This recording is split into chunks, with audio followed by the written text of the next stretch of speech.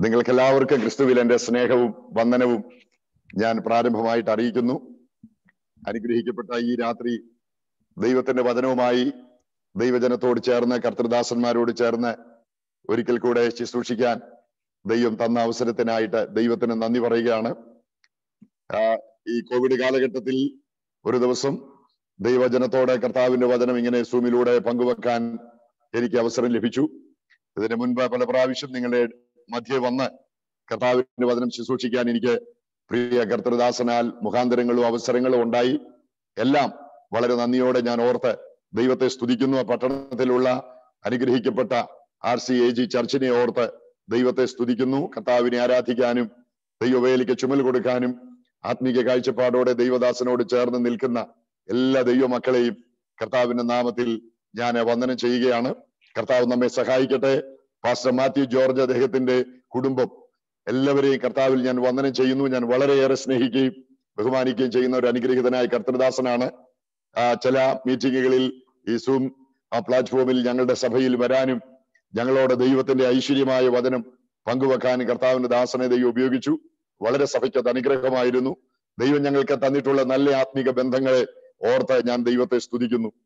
പ്രത്യേകിച്ച് പ്രിയ ജോർജ് കുട്ടിച്ചാനെ ഞാൻ സൂമിൽ ഇവിടെ കാണുന്നതിൽ വളരെ സന്തോഷമുണ്ട്. പിതാവിനെ തുല്യം സ്നേഹിക്കുകയും ബഹുമാനിക്കുകയും ചെയ്യുന്ന അനുഗ്രഹീതനായ കർത്തൃദാസൻ മലബാറിൽ കർത്താവിന്റെ വേലയ്ക്ക് ഞങ്ങൾക്ക് എല്ലാ കാലത്തും അദ്ദേഹം ഒരു നല്ല ആഹ്വാനമാണ്. അദ്ദേഹത്തിന്റെ ശുശ്രൂഷയും ജീവിതവും ഞങ്ങൾക്ക് പ്രചോദനമായിട്ടുള്ള ഒരു അനുഗ്രഹീത വ്യക്തിത്വമാണ്. ഒരുമിച്ച് കർത്താവിന്റെ സന്നിധിയിൽ ഇന്ന് രാത്രി ആയിരിക്കാൻ കർത്താവ് സഹായിച്ചതിൽ പ്രിയ ദൈവദാസനെ ഓർത്ത് ഞാൻ ദൈവത്തെ സ്തുതിക്കുന്നു. അവരെ കുടുംബമായി അമ്മാമയുടെയും ഒരു തലയുടെ അല്പം കാണുന്നുണ്ട്. അപ്പോ അമ്മാമ ഇതിനകത്തുണ്ട് എന്ന് ഞാൻ വിശ്വസി ആ വെരി ഗുഡ് കാണുന്നുണ്ട്. വളരെ സന്തോഷം കാണാൻ കഴിഞ്ഞതിൽ. കർത്താവ് അനുഗ്രഹിക്കട്ടെ. എനിക്ക് പരിചയമുള്ള പല സഹോദരങ്ങൾ അവിടെ വന്ന മുഖപരിചയമുള്ള പലരും ഈ സ്ക്രീനിൽ ഉണ്ട്. നിങ്ങളെ എല്ലാവരെയും ഞാൻ ഒറ്റ വാക്കിൽ വന്ദനം ചെയ്യുകയാണ്. ഇന്ന് രാത്രി ദൈവത്തിന്റെ വചനവുമായി നമുക്ക് അല്പസമയം ദൈവസന്നിധിയിൽ ചെലവഴിക്കാൻ ഇടവരുന്നത് നമ്മുടെ ആത്മീക ജീവിതത്തിന് അനുഗ്രഹമാകട്ടെ. ഈ ദിവസങ്ങളിൽ അവിടെ നടക്കുന്ന ഈ അനുഗ്രഹീത ആത്മീക മീറ്റിങ്ങുകളിൽ ഓരോ ദിവസവും ദൈവത്തിന്റെ ഹിതപ്രകാരമുള്ള ദൈവദാസന്മാരെ ദൈവം നിങ്ങളുടെ മധ്യത്തിൽ അയക്കുകയും നിങ്ങളോട് പറയുവാൻ ദൈവം ആഗ്രഹിക്കുന്ന ദൂത് പങ്കുവെച്ചുകൊണ്ടിരിക്കുകയും ചെയ്യുകയാണ് എന്ന് എനിക്കറിയാം. ദൈവത്തിന് സ്തോത്രം. കർത്താവ് എന്റെ ഹൃദയത്തിൽ പ്രകാശിപ്പിച്ച ഒരു വേദഭാഗം ഒരു വചനം ഒരു ചിന്തയിലേക്ക് നമുക്ക് ഒരുമിച്ച് ഇന്ന് രാത്രിയിൽ കടന്നു വരാം. അതിനാധാരമായി നാം വായിക്കുന്നത് നമുക്ക് എല്ലാവർക്കും നല്ല പരിചയമുള്ള ഒരു വേദഭാഗമാണ്. വിലാപങ്ങളുടെ പുസ്തകം അഞ്ചാം അധ്യായം ഇരുപത്തി ഒന്നാമത്തെ വാക്യമാണ് വിലാപങ്ങളുടെ പുസ്തകം the book of lamentations chapter five verse twenty one ആ വാക്യം നമുക്ക് എല്ലാവർക്കും കാണാതെ അറിയാം. നമുക്ക് നല്ല പരിചയമുള്ള വചനമാണ്. അതുകൊണ്ട് ദൈവമക്കൾ ആരും മുൻവിധിയോടുകൂടെ ദൈവസന്നിധിയിൽ ഇരിക്കരുത് എന്ന് കർത്താവിന്റെ നാമത്തിൽ ഞാൻ ഓർപ്പിക്കുന്നു.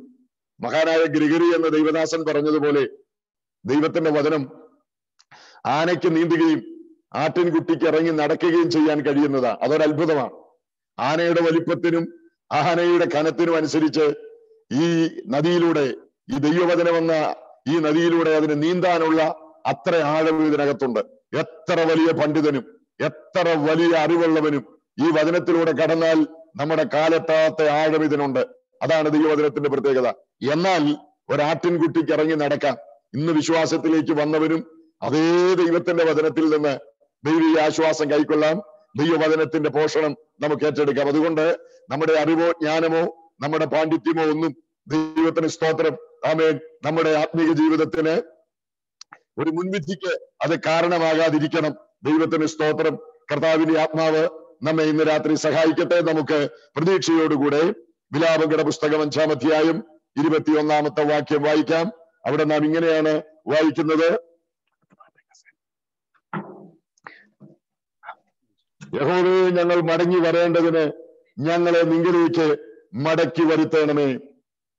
ഞങ്ങൾക്ക് പണ്ടത്തെ പോലെ ഒരു നല്ല കാലം വരുത്തണമേ. ദൈവത്തിന് സ്തോത്രം. യഹോവേ ഞങ്ങൾ മടങ്ങി വരേണ്ടതിന് ഞങ്ങളെ നിങ്കലേക്ക് മടക്കി വരുത്തണമേ. ഞങ്ങൾക്ക് പണ്ടത്തെ പോലെ ഒരു നല്ല കാലം തരണമേ restore us to you, you Lord, that we may be re- restored. Renew our days as of old. ഞങ്ങൾക്ക് പണ്ടത്തേതുപോലെ ഒരു നാളിനെ മടക്കി തരണമേ പുതുക്കി തരണമേ എന്ന ഭക്തന്റെ പ്രാർത്ഥന ദൈവത്തിന് സ്തോത്രം ഇന്ന് രാത്രി ഉപവാസത്തിനും പ്രാർത്ഥനയ്ക്കും വേണ്ടി സമയം വേർതിരിച്ച് ദൈവമുഖം അന്വേഷിക്കുന്ന എല്ലാ ദൈവമക്കളോടും ആമേൻ. ഞാൻ പ്രാരംഭമായിട്ട് ഓർപ്പിക്കട്ടെ. ഈ ഒരു പ്രാർത്ഥനയോടുകൂടെ ഈ ഒരു ആഗ്രഹത്തോടുകൂടെ ദൈവത്തിന്റെ തിരുമുഖത്തിൽ നോക്കി ദൈവശബ്ദത്തിന് വേണ്ടി കാതോർത്തിരിക്കുന്ന പ്രിയപ്പെട്ടവരെ കർത്താവിന് ഇന്ന് രാത്രി നമ്മോട് സംസാരിക്കാനുണ്ട്. അത് ഹൃദയത്തിന്റെ ഒരു വലിയ ആഗ്രഹമായി ഒരു വലിയ ആവേശമായി അടങ്ങാത്ത ഒരു ത്വരയായി ജീവിതത്തിൽ ഏറ്റെടുക്കുന്ന ദൈവമക്കൾ എത്ര പേരുണ്ട്? കർത്താവ് നമുക്ക് നിശ്ചയമായും നല്ല ആഗ്രഹങ്ങളെ സാധിപ്പിച്ച് തരിക തന്നെ ചെയ്യും. ദൈവത്തിന് സ്തോത്രം. വിലാപങ്ങളുടെ പുസ്തകം ഞാനതിന്റെ പശ്ചാത്തലത്തിലേക്കൊന്നും കടന്നു പോകാൻ ആഗ്രഹിക്കുന്നില്ല. നമുക്കറിയാം വേദന നിറഞ്ഞ ഒരു പശ്ചാത്തലത്തിലാണ് ഈ പീസ് ഈ പുസ്തകം എഴുതിയത് തന്നെ. അതിന്റെ പേര് തന്നെ വിലാപങ്ങൾ എന്നാണ്. വിലാപമാണ് ആ സങ്കീർ ഈ പുസ്തകത്തിന്റെ പ്രധാനപ്പെട്ട പ്രമേയം. ഒരു കാലത്ത് ദൈവത്തിന് ദൈവത്തിനു വേണ്ടി അഗ്നിസമാനം ശോഭിച്ചിരുന്നവർ കരിക്കട്ട പോലെ ആയിത്തീർന്ന ഒരു പരാജയത്തിന്റെ ചരിത്രം. ജാതികളുടെ മുമ്പിൽ അഭിമാനത്തോടെ തല ഉയർത്തി നിന്ന ദൈവജനം ജാതികളുടെ മുമ്പിൽ പരിഹാസപാത്രമായി തീർന്ന ജനം. ഒരു കാലത്ത് സമൃദ്ധിയുടെ ആധിക്യം കൊണ്ട് ദൈവത്തിന് സ്തോത്രം അതിന്റെ നന്മ അനുഭവിച്ച പുഷ്ടി അനുഭവിച്ച ആമീൻ ജനം ഇന്ന് വിശപ്പ് കൊണ്ട് വഴിത്തലയ്ക്കൽ ആമീൻ മരിച്ചു വീഴുന്ന സ്ഥിതി ആത്മീകമായും ഭൗതികമായും ദൈവജനത്തിന് സംഭവിച്ച അപജയങ്ങളുടെ വേദനകളുടെ പരാജയങ്ങളുടെ ഒരു പശ്ചാത്തലത്തിൽ ദൈവത്തോടൊരു ഭക്തന്റെ നിലവിളിയാണ് വിലാപങ്ങളുടെ പുസ്തകം. ഇന്ന് രാത്രി ഞാൻ ദൈവമക്കളോട് പറയുന്നു പ്രിയപ്പെട്ടവരെ ഹൃദയം നൊന്ത് ആര് ദൈവത്തോട് നിലവിളിച്ചിട്ടുണ്ടോ അവിടെയെല്ലാം ഒരു മറുപടി സ്വർഗം കൽപ്പിച്ചിട്ടുണ്ട്. അത് അന്ന് രമ്യ രമ്യാവെന്ന ഭക്തന് മാത്രമല്ല ഇന്ന് രാത്രി ആമേൻ ദൈവത്തിന് സ്തോത്രം. ഹൈദരാബാദിൽ ഇരുന്നു കൊണ്ട് സെക്കൻഡറാബാദിൽ ഇരുന്നു കൊണ്ട് ഈ ശബ്ദം കേൾക്കുന്ന ദൈവമക്കളുടെ ഇടയിൽ ഹൃദയം തകർന്ന് ഉള്ളം നൊന്ത്. ദൈവമേ ഞങ്ങളുടെ പരാജയങ്ങൾ ഞങ്ങൾ തിരിച്ചറിയുന്നു. ഞങ്ങളുടെ വീഴ്ചകൾ ഞങ്ങൾ തിരിച്ചറിയുന്നു. ഞങ്ങൾക്കൊരു നല്ല കാലം പണ്ടത്തെ നല്ല കാലം. മടക്കി തരണമെന്ന് ഉള്ളം നൊന്ത് പ്രാർത്ഥിക്കുന്ന ഒരാളെങ്കിലും ഉണ്ടെങ്കിൽ ഈ രാത്രി പ്രതീക്ഷയ്ക്ക് വകയുണ്ട് എന്ന് ഞാൻ പറയും. അത് ഈ വചനത്തിന്റെ പിൻബലത്തിലാണ് ആ ദൂതി ഞാൻ ദൈവമക്കളോട് പങ്കുവെക്കുന്നത്.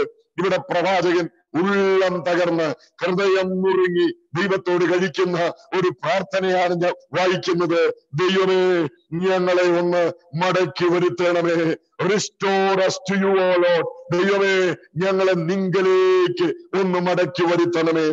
റെസ്റ്റോറേഷൻ എന്ന ഈ വാക്കിന്റെ അർത്ഥം ആമേൻ മനസ്സിലാക്കിയപ്പോൾ bring back to a former state എന്ന ഒരാശയമാണ് കൂടുതലും ആമേൻ പരിഭാഷകളിൽ മനസ്സിലാകുന്നത്. ഞങ്ങൾക്കുണ്ടായിരുന്ന പണ്ടത്തെ ഒരു സ്ഥിതിയിലേക്ക് പണ്ടത്തെ ഒരു അവസ്ഥയിലേക്ക് ദൈവമേ ഞങ്ങളെ ഒന്ന് മടക്കി കൊണ്ടുവരണമേ ദൈവത്തിന് സ്തോത്രം ദൈവത്തിന് സ്തോത്രം. പൂർവസ്ഥിതിയിലാക്കുക പുനഃസ്ഥാപിക്കുക മടക്കി വരുത്തുക എന്നൊക്കെയാണ് വാക്കിന്റെ അർത്ഥം. ഇന്ന് രാത്രി ആ എല്ലാ ആശയങ്ങളും കൂടെ ചേർന്ന ഒരു ചിന്തയാണ് ഞാൻ ദൈവമക്കളോട് പങ്കുവെക്കുന്നത്. നമുക്ക് ഒരു മടങ്ങി വരവ് ആവശ്യമുണ്ട്. ദൈവസഭയ്ക്ക് ദൈവജനത്തിന് ഒരു മടങ്ങി വരവ്. ആവശ്യമുള്ള ജനങ്ങളാണിത് ആദ്യം നമുക്ക് ഉണ്ടാകേണ്ട ബോധ്യം കർത്താവ് ഞങ്ങൾക്കൊരു മടങ്ങി വരവിന്റെ അനിവാര്യതയുണ്ട് അതിലേക്ക് ഞങ്ങളെ മടക്കി വരുത്തണമേ.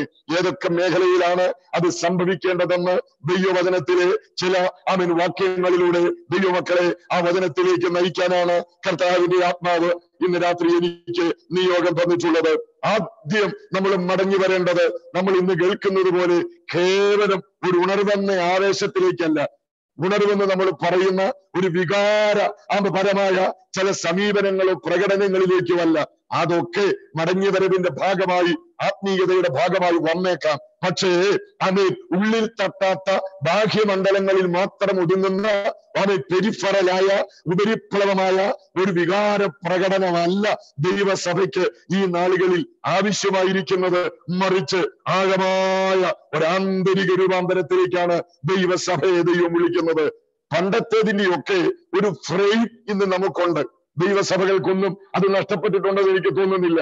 ദൈവത്തിന് സ്തോത്രം. ഞാനും ബന്ധക്കോസ്തിൽ ജനിച്ചു വളർന്ന ഒരു ബന്ധക്കോസ്തുകാരനാണ് തലമുറകളുടെ അനുഭവങ്ങൾ ഞാൻ ചെറുപ്പം മുതൽ കണ്ട് പരിചയമുള്ള ബന്ധക്കോസ്റ്റിന്റെ ഇല്ലായ്മയുടെ നാളുകളിൽ ഈ മാർഗത്തിൽ പിറന്നു വീണ് ഇതിന്റെ കാലാകാലങ്ങളിലുള്ള പുരോഗതികളും അഭിവൃദ്ധികളും എല്ലാം കണ്ടും കേട്ടും അതിന്റെ ഭാഗമാകാനും കൃപയാൽ ഭാഗ്യം ലഭിച്ച ഒരാളാണ് ഞാൻ. ദൈവത്തിന് സ്തോത്രം. അതുകൊണ്ട് ഞാൻ പറയുന്നു സഹോദരങ്ങളെ പണ്ട് പന്തക്കോസ്തിന് ഉണ്ടായിരുന്ന ഫ്രെയിമിനൊന്നും ഇന്ന് വലിയ കുഴപ്പം സംഭവിച്ചിട്ടില്ല. അന്നത്തെ ഫ്രെയിമുകളെല്ലാം ഇന്ന് വലിയ കേടുകൂടാതെ നമ്മൾ സൂക്ഷിക്കുന്നുണ്ട്. ദൈവത്തിന് സ്തോത്രം. ഒന്നുകൂടെ പറഞ്ഞാൽ ആമേൻ. നമുക്ക് നഷ്ടപ്പെട്ടത് അതിന്റെ സത്തയാണ് അതിന്റെ ആത്മാവിനെയാണ്. അവിടേക്കാണ് ഈ ദിവസങ്ങളിൽ ദൈവം തന്റെ ജനത്തെ ഒന്ന് മടക്കി വിളിക്കുന്നത്. അന്നത്തെ ആരാധനയ ഇന്നും നമുക്കുണ്ട്. അന്നത്തെ അവൻ അന്യഭാഷ അല്പമോ അധികമായി ഇന്നും നമ്മുടെ ഇടയിലുണ്ട്. അന്നത്തെ വചന ശുശ്രൂഷ ഇന്നും അതുപോലെ നടക്കുന്നുണ്ട്. അന്നത്തെ കുടുംബയോഗങ്ങൾ എല്ലാം അറ്റുപോയിട്ടില്ല.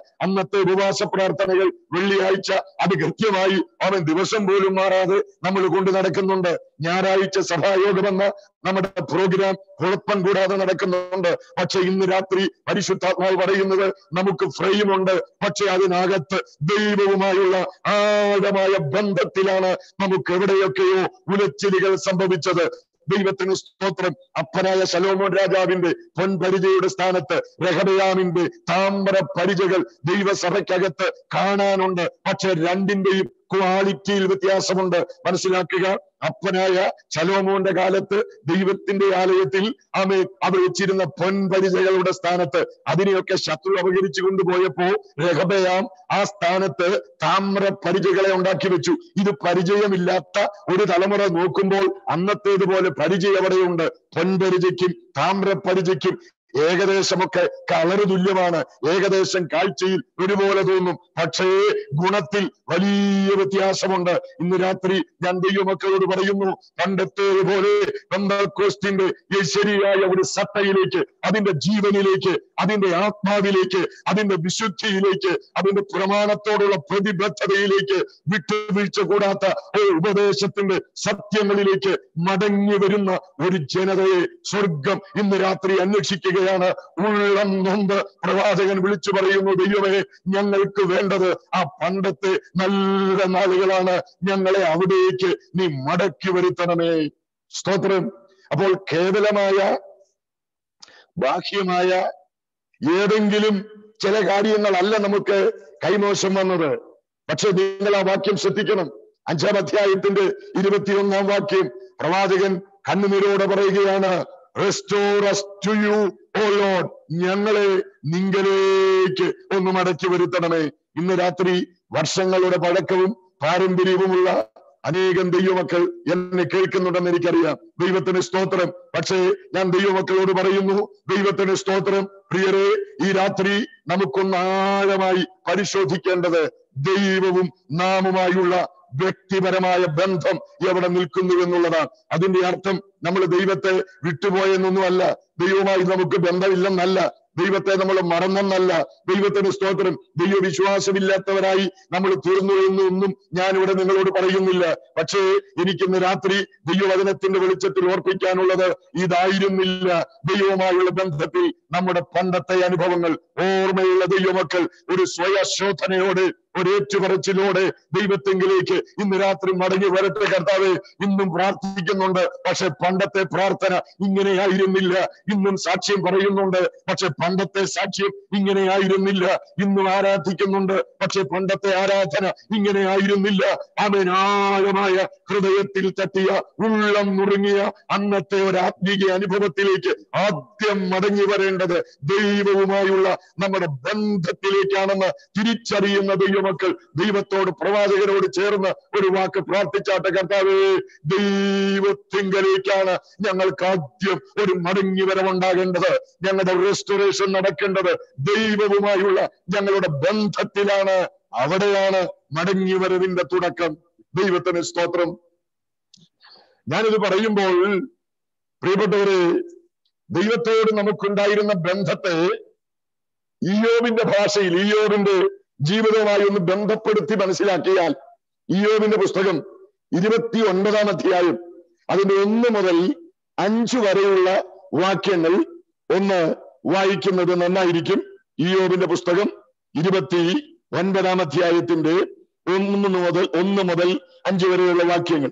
ഞാൻ അവിടെ അതിന്റെ രണ്ടാമത്തെ വാക്യം നിങ്ങളുടെ ശ്രദ്ധയിലേക്ക് പ്രത്യേകിച്ച് ഒന്ന് കൊണ്ടുവന്ന് നമുക്ക് ആ വാക്യത്തിലേക്ക് വരാം. എന്താണ് ഞങ്ങളെ ദൈവത്തെങ്കിലേക്ക് മടക്കി വരുത്തണമെന്ന് പറയുമ്പോൾ ദൈവവചനം അർത്ഥമാക്കുന്നത് ഇയോബ് പറയുന്ന വാക്യം ഒന്ന് ശ്രദ്ധിച്ച്. അയ്യോ പണ്ടത്തെ മാസങ്ങളിലെ പോലെ ദൈവം എന്നെ കാത്തുപോന്ന നാളുകളിലെ പോലെ ഞാൻ ആയിരുന്നെങ്കിൽ കൊള്ളാമായിരുന്നു. ദൈവത്തിന് സ്തോത്രം. ആ വാക്യം ശ്രദ്ധിക്കണേ പ്രിയപ്പെട്ടവരെ.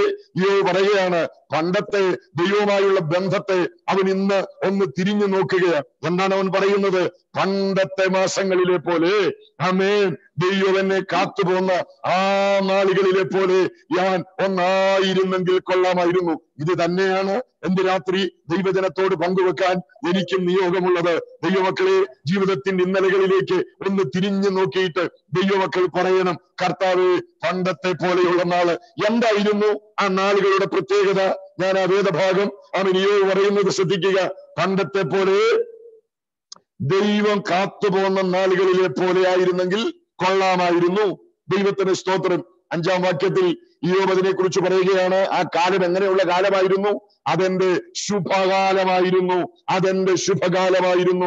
ദൈവത്തിന് സ്തോത്രം. താഴെയുള്ള വാക്യങ്ങൾ ആണ് ഞാൻ ആ വാക്യത്തിലേക്ക് ഒന്ന് നിങ്ങളുടെ ശ്രദ്ധയെ കൊണ്ടുവരട്ടെ. ഇയോബ് പറയുകയാണ് പണ്ടത്തെ പോലെ ആ നല്ല നാളുകൾ പോലെ ദൈവം എന്നെ ഒന്ന് കൊണ്ടുവന്നിരുന്നെങ്കിൽ ദൈവത്തിന് സ്തോത്രം. ആ വാക്യം ഒന്ന് ശ്രദ്ധിക്കുക പ്രിയപ്പെട്ടവരെ. എന്താണ് ദൈവവുമായി അവന്റെ ബന്ധത്തിൽ ഉണ്ടായിരുന്ന അവന്റെ നല്ല ഓർമ്മകൾ? ഒന്നാമത്തെ കാര്യം യോ പറയുകയാണ് ദൈവം എന്നെ കാത്തുപോകുന്ന നാളുകൾ. ദൈവത്തിന് സ്തോത്രം. മറ്റൊരു ഭാഷയിൽ പറഞ്ഞാൽ എന്റെ സംരക്ഷണം ദൈവത്തിൽ മാത്രമാണെന്ന് ഞാൻ ഉറപ്പിച്ച നാളുകൾ. ഇന്ന് എനിക്കുള്ള സംവിധാനങ്ങളോ സെക്യൂരിറ്റി സംവിധാനങ്ങളോ സുരക്ഷാ ഫീലിങ്ങുകളോ ഒന്നുമില്ലാതെ അത്യുന്നതനാണ് എന്റെ കാവൽക്കാരനെന്ന് ദൈവമാണ് എന്റെ പരിചയമെന്ന് ഉറങ്ങാത്ത ഒരു പരിപാലകൻ ഒരു പരിപാലകൻ എനിക്കുണ്ടെന്നുള്ള ഉത്തമ ബോധ്യത്തിൽ പ്രിയപ്പെട്ടവരെ വിശ്വാസത്തിൽ ജീവിച്ച നാളുകൾ എത്ര ദൈവമക്കൾക്ക് ഓർമ്മയുണ്ട്. ഇന്ന് നല്ല വീട്ടിനകത്ത് കിടക്കുമ്പോൾ പല വാതിലുകൾ പല ലോക്കുകളൊക്കെ ഇട്ട് അകത്ത് കിടക്കുമ്പോൾ ആമേൻ മതിലും അതിന് ഗേറ്റും വെച്ച് അതിനകത്ത് കിടക്കുമ്പോൾ അതിനും അപ്പുറത്ത് ആമേൻ നാല് ആമേൻ മൂലയ്ക്കും നാല് പട്ടിയെ വളർത്തി നായുടെ സംരക്ഷണവും നമ്മുടെ ഒരു സെക്യൂരിറ്റി ഫീലിംഗ് ആയി നമ്മൾ അനുഭവിക്കുമ്പോൾ ക്യാമറയുടെ ഒരു സുരക്ഷിതത്വത്തിനകത്ത് നമ്മൾ പാർക്കുമ്പോൾ നമുക്ക് ഇന്നില്ലാതിരുന്ന ഒരു സുരക്ഷിതത്വ ബോധം അനുഭവിച്ച നാളുകൾ. എത്ര ദൈവമക്കൾക്ക് ഓർമ്മയുണ്ട്? അത്യുന്നതൻ എന്നെ കാത്തു പോകുന്ന ദിനങ്ങൾ. ദൈവത്തിന് സ്തോത്രം ദൈവത്തിന് സ്തോത്രം. വന്യമൃഗങ്ങളുടെയും ക്രൂര ജന്തുക്കളുടെയും ദുഷ്ട മനുഷ്യരുടെയും ഭീഷണി നിലനിന്ന കാലത്ത് അടച്ചുറപ്പുള്ള ഒരു വീട് പോലും ഇല്ലാതെ അവൻ സുരക്ഷിതമായി രാത്രികളിൽ സ്വസ്ഥമായി ദൈവമക്കൾ കിടന്നുറങ്ങിയത് നാം ഉണ്ടാക്കിയ ഒരു സംരക്ഷണ കവചത്തിന്റെ ബലത്തിലല്ല എന്നെ പരിപാലിക്കുന്ന ഒരു ദൈവമുണ്ടെന്ന് ഒരു സംരക്ഷകൻ എനിക്കുണ്ടെന്ന് ഉറങ്ങാത്ത ഒരു കാവൽക്കാരൻ എനിക്കുണ്ടെന്ന ഉത്തമ ബോധ്യമാണ്. ഇന്ന് രാത്രി ഞാൻ ദൈവമക്കളോട് പറയുന്നു എത്ര പേർക്ക് ആ ഒരു ബോധ്യം ഇന്ന് ജീവിതത്തിൽ ഉണ്ട് പ്രിയപ്പെട്ടവരെ പ്രതിസന്ധികളുടെ നാളുകളിൽ മറ്റെല്ലാം മറന്ന് ദൈവത്തിൽ ആശ്രയിച്ച ഒരാശ്രയ ജീവിതം നമുക്ക് ഇന്ന് ഓർമ്മയുണ്ടോ പ്രിയരെ? ഇന്ന് ആശ്രയ ബന്ധം നമുക്ക് ദൈവമായിട്ടുണ്ടോ. എവിടെയെങ്കിലും കുറവുണ്ടെങ്കിൽ അവിടേക്കാണ് നമ്മളെ തമ്പുരാൻ വിളിക്കുന്നത്. കർത്താവ് ദൈവമായുള്ള ബന്ധത്തിൽ ഞങ്ങളെ ഒന്ന് മടക്കി വരുത്തണമേ. മടക്കി വരുത്തണമേ. അടുത്ത വാക്യം യോ പറയുകയാണ് ആ പണ്ടത്തെ നാളുകൾ ഞങ്ങൾ മടങ്ങി വരേണ്ട. ആ പണ്ടത്തെ നാളിന്റെ പ്രത്യേകത എന്താണെന്നറിയാമോ? ദൈവത്തിന്റെ ദീപം എന്റെ തലയ്ക്ക് മീതെ പ്രകാശിച്ച നാളുകൾ. പ്രൈസ് ദ ആ വാക്യമൊക്കെ എത്ര ആഴമുള്ള വാക്യമാ ദൈവമക്കളെ. സ്തോത്രം. പട്ടിണി കിടന്ന നാളുണ്ട്. പഞ്ഞം കിടന്ന നാളുണ്ട്. പക്ഷെ മുഖത്ത് നോക്കുന്നവന് ദൈവത്തിന്റെ തേജസ് ദൈവത്തിന്റെ ദീപം നിന്റെ തലയ്ക്ക് മീതെ പ്രകാശിച്ചത് കാണാൻ കഴിയുമായിരുന്ന നാളുകൾ. എത്രയെത്ര ഭക്തന്മാരുടെ ജീവിതാനുഭവങ്ങൾ സാക്ഷ്യങ്ങൾ നമ്മൾ കേട്ടിട്ടുണ്ടല്ലേ? ദൈവത്തിന്റെ സ്തോത്രം. പകലന്തിയോളം കഷ്ടപ്പെട്ട് വേല ചെയ്ത് ഇന്നത്തേതുപോലെ സൽക്കരിക്കാൻ ആളുകളില്ല. കുടിവെള്ളം പോലും കൊടുക്കാൻ കുടിക്കാൻ കിട്ടാനില്ലാത്ത നാളുകളിൽ പരിക്ഷീണനായി തളർന്നിരിക്കുന്ന ദൈവദാസനെ നോക്കി ആളുകൾ പറഞ്ഞ വാചകം ചരിത്രത്തിൽ വായിക്കുന്നില്ലേ? കണ്ടാൽ അവേ ഇരിക്കുന്നത് കണ്ടാൽ ഒരു ഭിക്ഷുവിനെ പോലെ പക്ഷെ മുഖം കണ്ടാൽ ഒരു ദൈവദൂതനെ പോലെ. പട്ടിണി നടന്ന കാലം പഞ്ഞം നടന്ന കാലം. ഇന്നത്തെ സമൃദ്ധി ഒന്നും ഇല്ലാതിരുന്ന കാലം. ലോകം നിന്റെ തലയ്ക്ക് മീതെ അത്യുന്നതന്റെ ദീപം നിന്റെ മേൽ പ്രകാശിക്കുന്നത് കണ്ട കാലം. നിന്റെ മുഖം ദൈവ തേജസ്സിനാൽ ശോഭിച്ച ഒരു കാലം. ഇന്ന് എത്രയൊക്കെ സമൃദ്ധി ഉണ്ടായിട്ടും എത്ര നന്മയുണ്ടായിട്ടും മുഖത്തില്ലാത്ത ചൈതന്യം അന്ന് ദാരിദ്ര്യത്തിന്റെ നടുവിൽ പ്രതിസന്ധിയുടെ നടുവിൽ വേദനകളുടെ നടുവിൽ ഒറ്റപ്പെടലിന്റെ നടുവിൽ ദൈവമക്കളുടെ മുഖത്ത് ലോകം കണ്ട ദൈവത്തിന്റെ പ്രകാശം. ഇതൊന്നും വെറുതെ ആവേശം കൊള്ളിക്കാൻ പറയുന്ന കാര്യമല്ല ദൈവമക്കളെ. ഇതൊക്കെ നമ്മുടെ അനുഭവം അല്ലായിരുന്നു സ്തോത്രം സ്തോത്രം. ജോർജ് പിടിച്ചാൽ ഇവിടെ ഇരിപ്പുണ്ട്. ഞാൻ ശുശ്രൂഷ ആരംഭിക്കുന്ന കാലവും കർത്താവിന്റെ ദാസൻ എന്ന് പൂർണസഭയിൽ വേലയിലേക്ക് വരുന്ന കാലമൊക്കെ ഏതാണ്ട് ഒരേ കാലഘട്ടമാണ്. ദൈവത്തിന് സ്തോത്രം. ഞാൻ ഇന്ന് തിരിഞ്ഞു നോക്കുന്നു. കാസർഗോഡ് ജില്ലയിൽ ദൈവത്തിന് സ്തോത്രം. യാതൊരു സമൃദ്ധിയുമില്ലാത്ത ഒരു പുഷ്ടിയുമില്ലാത്ത വിശ്വാസികളുടെ സാന്നിധ്യമോ സഹായമോ ഇല്ലാത്ത ആരംഭ നാളുകൾ പ്രവർത്തനത്തിന് ഇറങ്ങിയത് പക്ഷെ ഇന്ന് രാത്രി ഞാൻ ദൈവഭക്തരോട് പറയുന്നു അന്ന് നമ്മെ കാണുന്നവർക്ക് എല്ലുന്തി നിന്നാലും കണ്ണ് കുഴിഞ്ഞു കിടന്നാലും വയറൊട്ടി കിടന്നാലും മുഖത്ത് ദൈവത്തിന്റെ ദീപം പ്രകാശിച്ച ഒരു കാലമുണ്ട്. മുഖശോഭ അറ്റുപോയ ആത്മീയ ലോകമേ മടങ്ങി വന്നേ മതിയാകൂ. കർത്താവേ പണ്ടത്തേതുപോലെ ഒരു നല്ല കാലം ഞങ്ങൾക്ക് തരണമേ. ഞങ്ങളെ കാണുന്നവർ ഞങ്ങൾ ദൈവമക്കളാണെന്ന് സുവിശേഷ വേലക്കാരാണെന്ന് ക്രിസ്തുവിന്റെ ദാസന്മാരാണെന്ന് അവൻ വേഷം കണ്ടല്ല അവൻ കേവലം ഭാഷ കേട്ടല്ല. അകത്ത് മുഖത്ത് വെളിപ്പെട്ട ദൈവ കൃപ നിമിത്തം ലോകം ദൈവസഭയെ ദൈവജനത്തെ തിരിച്ചറിഞ്ഞ നാളുകളിലേക്കാണ് ദൈവസഭ മടങ്ങി വരേണ്ടത്. ഇന്ന് നമുക്ക് അവിടെയാണ് ബന്ധമറ്റുപോയത് നമ്മുടെ നഷ്ടം അവിടെയല്ലേ പ്രിയരെ? നൂറ്റി ഇരുപത്തി ആറാം സങ്കീർത്തനം. ഒന്നും രണ്ട് വാക്യങ്ങൾ മൂന്ന് വാക്യങ്ങൾ. ഞാൻ ആ ഭാഗം പിന്നത്തേത് ഒന്ന് പരാമർശിക്കണമെന്ന് വിചാരിച്ചെങ്കിലും ഇന്ന് രാത്രി പരിശുദ്ധാത്മാവ് നൽകുന്ന നിയോഗത്തിൽ ഞാൻ പറയുകയാണ്. സങ്കീർത്തനക്കാരൻ പറഞ്ഞ വാക്യം നിങ്ങൾ കേട്ടു. യഹോവയ സിയോന്റെ പ്രവാസികളെ മടക്കി വരുത്തിയപ്പോൾ ഞങ്ങളന്ന് സ്വപ്നം കാണുന്നവരെ പോലെയായിരുന്നു എന്നിട്ടടുത്ത വാക്യം പറയുകയാണ് അന്ന് ഞങ്ങളുടെ വായിൽ ചിരിയും ഞങ്ങളുടെ നാവിന്മേൽ ആർപ്പുണ്ടായിരുന്നു ഞാൻ എന്നിട്ട് അടുത്ത വാക്യം യഹോവ അവരിൽ വൻ കാര്യങ്ങൾ ചെയ്തിരിക്കുന്നു എന്ന് അന്ന് ജാതികളുടെ ഇടയിൽ പറഞ്ഞു. ദൈവമക്കളുടെ മുഖത്ത് നോക്കിയ ജാതികൾ ഒരു കാലത്ത് പറഞ്ഞു അവരുടെ ആരാധനയ്ക്ക് അർത്ഥമുണ്ട് അവരുടെ പ്രാർത്ഥനയ്ക്ക് ആഴമുണ്ട് അവരുടെ സന്തോഷത്തിന് അർത്ഥമുണ്ട്. ഇന്ന് കേവലം ആമൻ ചില ആരവങ്ങൾക്കപ്പുറത്ത് നമ്മുടെ ആരാധനകൾ ദൈവിക വിടുതലിന്റെ പ്രഘോഷണങ്ങളാണെന്ന് ജീവനുള്ള സാക്ഷ്യങ്ങളുടെ പ്രഖ്യാപനമാണെന്ന് എത്ര ആളുകൾ മനസ്സിലാക്കിയിട്ടുണ്ട്. ഇന്ന് രാത്രി ദൈവത്തോട് ദൈവസഭ മുട്ടിപ്പായി പ്രാർത്ഥിച്ച് വേറെ ഒന്നും നടന്നില്ലെങ്കിലും ദൈവമേ പണ്ടത്തെ ആ ഒരു തേജസ്സിലേക്ക് ദൈവകൃപയുടെ ഒരു ശോഭയിലേക്ക് ഒന്ന് മടക്കി വരുത്തണമേ. അന്ന് ഉപവാസ പ്രാർത്ഥന കഴിയുന്നവനെ കണ്ടാൽ ലോകത്തിന് അറിയാമായിരുന്നു. അവൻ ദൈവത്തിന് സ്തോത്രം. എങ്ങനെ അറിയാമായിരുന്നു? അവരിൽ വ്യാപരിച്ച ദൈവകൃപ പർവതത്തിൽ നിന്ന് പ്രമാണമേറ്റു വാങ്ങി താഴ്വരയിലേക്ക് വന്ന മോശയുടെ മുഖത്ത് നോക്കി ആളുകൾ പറഞ്ഞു ഓ നിന്റെ മേൽ നിന്റെ തൊക്ക് ദൈവ തേജസ്സിനാൽ പ്രകാശിക്കുന്നു. ഇതല്ലായിരുന്നു ദൈവവുമായുള്ള നമ്മുടെ ബന്ധത്തിൽ നമ്മുടെ ഏറ്റവും വലിയ കൈമുതൽ. ഇത് നമുക്ക് നഷ്ടപ്പെട്ടെങ്കിൽ ഇന്നത്തെ പെന്തക്കോസ്ത് ഇതിനെ തിരിച്ചു പിടിക്കുകയാണ് വേണ്ടത്. ഇതിനെ മടക്കിക്കൊണ്ടുവരണം അതാണ് നമുക്ക് വേണ്ട മടങ്ങി വരവ്. അല്ലാതെ നമുക്ക് നഷ്ടപ്പെട്ട കുറച്ച് പൈസയുടെ കാര്യമല്ല ഞാൻ പറയുന്നത്. എനിക്കറിയാം എല്ലാം മടക്കിത്തരും മടക്കിത്തരുമെന്ന് ഞാൻ പറയുമ്പോൾ ഇന്നത്തെ ആളുകൾക്ക് ഏറ്റവും വലിയ ഇഷ്ടം കഴിഞ്ഞ വർഷം ബിസിനസ്സിൽ നഷ്ടപ്പെട്ട നഷ്ടമെല്ലാം തിരിച്ചു കിട്ടണം. ഇഞ്ചി കൃഷി നഷ്ടപ്പെട്ട പണമെല്ലാം മടങ്ങി വരണം.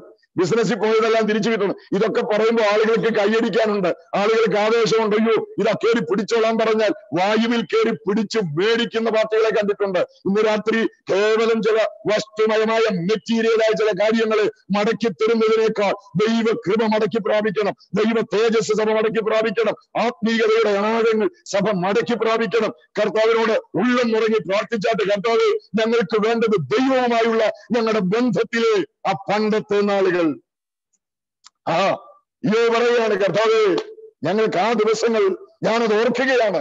ആ നല്ല നാളുകൾ ഞാൻ ഓർക്കുകയാണ്. എന്നെ ഒന്ന് മടക്കി കൊണ്ടുവരണമേ. ദൈവത്തിന്റെ സ്തോത്രം. എനിക്ക് അമേൻ യോബിന്റെ ആ വാക്കുകൾ എന്നോട് ശ്രദ്ധിച്ചോ നിങ്ങൾ. മൂന്നാമത്തെ കാര്യം പറയാണ് എന്താണ് ദൈവമായുള്ള ബന്ധത്തിൽ ആ കാലത്തിന്റെ പ്രത്യേകത എന്തായിരുന്നു? യോ പറയുന്നത് മൂന്നാം വാക്യം അവന്റെ വെളിച്ചത്താൽ ഞാൻ ഇരുളിൽ കൂടി നടന്ന നാളുകൾ. ആ അതാണ് വിഷയം. നിങ്ങൾ ശ്രദ്ധിച്ചോ? അവന്റെ വെളിച്ചത്താൽ ഞാൻ ഇരുട്ടിൽ കൂടെ നടന്ന നാളുകൾ ഇതായിരുന്നു ദൈവമായുള്ള നമ്മുടെ അന്നത്തെ ബന്ധം. നമ്മൾ നടന്നത് പലതും കൂരിരുട്ടിലൂടെയാണ്. ലോകം അങ്ങനെ കണ്ടത് അല്ലേ? കഠിന ദാരിദ്ര്യം കഠിനമായ ഉപദ്രവങ്ങൾ അങ്ങേയറ്റം വേദനിപ്പിക്കുന്ന നിന്ദകളും പരിഹാസങ്ങളും. മക്കളുടെ വിദ്യാഭ്യാസത്തിന് വഴിയില്ല. കുഞ്ഞുങ്ങളുടെ ഭാവിയെ കുറിച്ച് പ്രതീക്ഷയില്ല. നല്ല വീടുകളിൽ നിന്നും നല്ല കുടുംബ പശ്ചാത്തലത്തിൽ നിന്നും കർത്താവിനെ സേവിക്കാൻ ഇറങ്ങിയതിന്റെ പേരിൽ കുടുംബങ്ങളിൽ തള്ളപ്പെട്ട ആളുകൾ ഇരുട്ടിലേക്ക് എന്നതുപോലെ ആ എവിടേക്കെന്നറിയാതെ ഓ വിശ്വാസത്തിന്റെ ചുവടുകൾ വെച്ചവർ ചിലർ ഒറ്റയ്ക്കിറങ്ങിയവരുണ്ട്. ചിലർ ഭാര്യയെ കൂട്ടി ഇറങ്ങിയവരുണ്ട്. ചിലർ പിഞ്ചു കുഞ്ഞുങ്ങളുടെ കൈ പിടിച്ചിറങ്ങിയവരുണ്ട്. ഞാൻ ഇന്ന് രാത്രി ഇത് പറയുമ്പോൾ അനുഭവമുള്ള ദൈവമക്കൾ പലരും എന്നെ കേൾക്കുന്നുണ്ടായിരിക്കാം. അന്ന് നിങ്ങൾ ചുവട് വെച്ചത് ഇരുട്ടിലേക്കാണെന്ന് ലോകം പറഞ്ഞു. എവിടേക്കാണെന്ന് അറിഞ്ഞുകൂടാ? അവന്റെ ഭാവി എന്താകുമെന്ന് അവന്റെ മക്കളുടെ ഭാവി എന്താകുമെന്ന് ലോകം ആശ്ചര്യപ്പെട്ട നാളുകൾ വേദനിക്കുന്ന സ്നേഹിച്ച ജീവിതങ്ങൾ പലരും പറഞ്ഞു അയ്യോ ആത്മീയം തലയ്ക്ക് പിടിച്ച് അവൻ ഇരുട്ടിലേക്ക് ചുവടുകൾ വെക്കുകയാണ്. എവിടേക്കാണെന്ന് അറിഞ്ഞുകൂടാ? എന്താകുമെന്ന് അറിഞ്ഞുകൂടാ? പക്ഷെ ഇന്ന് രാത്രി ആത്മീയരെന്ന് തിരിഞ്ഞു നോക്കി പറഞ്ഞു അന്ന് ലോകം കണ്ടത് ഇരുട്ടിലേക്ക് ചുവട് വെക്കുന്നതാണ്. പക്ഷെ നമുക്കറിയാമായിരുന്നു ആ ഇരുട്ടിൽ അവന്റെ വെളിച്ചത്തിലാണ് ഞങ്ങൾ നടന്നത്. ഇന്ന് രാത്രി ദൈവത്തെ സേവിക്കുന്ന ദൈവ പൈതൽ ആത്മാവിന്റെ നിറവിൽ ഞാൻ ദൈവജനത്തെ ഓർപ്പിക്കുന്നു. അന്നേ ലോകം നമ്മെ കണ്ടത് ഇരുട്ടിലൂടെ നടക്കുന്നതാണ്. പക്ഷേ നാം നടന്നത് ഇരുട്ടിലൂടെയല്ല. ഓരോ കാൽച്ചുവടുകൾ വെക്കാനുള്ള വെളിച്ച പാതയ്ക്ക് തമ്പുരാൻ തന്ന് അടുത്തത് എങ്ങനെ വെക്കണമെന്ന് അടുത്ത ചുവട് വെക്കേണ്ട വെളിച്ചം വഴിയിൽ വിതറി ഓരോ ദിവസവും ദൈവം നടത്തിയ നാളുകൾ. ഇതൊക്കെ ഒന്ന് ജീവിതത്തിന്റെ ഏകാന്തതയിൽ ശാന്തമായിരുന്ന് ധ്യാനിച്ചാൽ നമ്മളും അറിയാതെ കണ്ണുകൾ നിറഞ്ഞ് ദൈവത്തോട് പറയും ദൈവമേ ഞങ്ങളെ ആ പണ്ടത്തെ നാളുകളിലേക്ക് ഒന്ന് മടക്കി വരുത്തണമേ. ഇന്ന് നമുക്ക് അവൻ നടക്കാൻ നല്ല വീഥികളുണ്ട് നാളെയെ കുറിച്ച് സ്വപ്നങ്ങളുണ്ട്. ഭാവിയെ കുറിച്ച് പദ്ധതികളുണ്ട്. പക്ഷെ ഇതൊന്നും ഇല്ലാതിരുന്ന നാളുകളിൽ ദൈവത്തിന്റെ വെളിച്ചം കണ്ട് ചുവട് വെച്ച ഞാൻ ഞാനിത് പറയുമ്പോൾ ഇസ്രായേൽ മക്കൾ ഇസ്രായേലിൽ നിന്ന് പുറപ്പെട്ട് മരുഭൂമിയിലൂടെ സഞ്ചരിച്ച ചിത്രമാണ് എന്റെ മനസ്സിൽ വരുന്നത്. ദൈവത്തിന് സ്തോത്രം. അവിടെ വെളിച്ചം കാണിക്കാൻ ഇന്നത്തെ സംവിധാനങ്ങളില്ല. തമ്പുരാന്റെ വെളിച്ചത്തിൽ അവർ ഇരുളിലൂടെ നടന്ന കാലം ദൈവത്തിന്റെ അഗ്നിസ്തംഭം അവർക്ക് വെളിച്ചമായിരുന്ന കാലം. ഇന്ന് രാത്രി ദൈവ പൈതൽ എങ്ങനെ ചുവട് വെക്കുമെന്ന് നീ അറിയാതിരുന്ന നാളുകളിൽ ദൈവം വഴിക്ക് വെളിച്ചം വിതറി വചനം വഴിക്ക് വെളിച്ചമായി മാറിയിരുന്ന പണ്ടത്തെ നാളുകൾ ഇന്നതുണ്ടോ? അവിടെയാണ് ദൈവമായുള്ള ബന്ധത്തിൽ നമ്മൾ പുനഃപരിശോധന നടത്തേണ്ടത്. നമ്മൾ വിലയിരുത്തേണ്ടത് എവിടെയാണ്? ആ പണ്ടത്തെ നാളുകൾ. ഇനി അടുത്ത വാക്യം അടുത്ത കാര്യം പറയണം എന്റെ ആ പണ്ടത്തെ നാളുകളുണ്ടല്ലോ സർവശക്തനും ഞാനുമായുള്ള ആ നല്ല ബന്ധം കാത്ത നാളുകൾ. എന്താണ് ആ നാളിന്റെ പ്രത്യേകത? നാലാം വാക്യം. എന്റെ കൂടാരത്തിന് ദൈവത്തിന്റെ സഖ്യത ഉണ്ടായിരുന്ന ദിവസങ്ങൾ. അതായിരുന്നു ദൈവമായുള്ള എന്റെ ബന്ധത്തിലെ ഏറ്റവും വലിയൊരു അനുഗ്രഹം. എന്റെ കൂടാരത്തിന് സർവശക്തന്റെ സഖ്യത എന്നോടുകൂടെ എന്റെ കൂടാരത്തിന് ദൈവത്തിന്റെ സഖ്യത ഉണ്ടായിരിക്കുകയും സർവശക്തൻ എന്നോടുകൂടെ വസിക്കുകയും ചെയ്ത കാലം. എന്തോ ഹല്ലേലൂയ. ഇന്ന് നമ്മുടെ വീട്ടിൽ വരാനും പോകാനും ഒക്കെ ധാരാളം ആളുകളുണ്ട് ഇല്ലേ?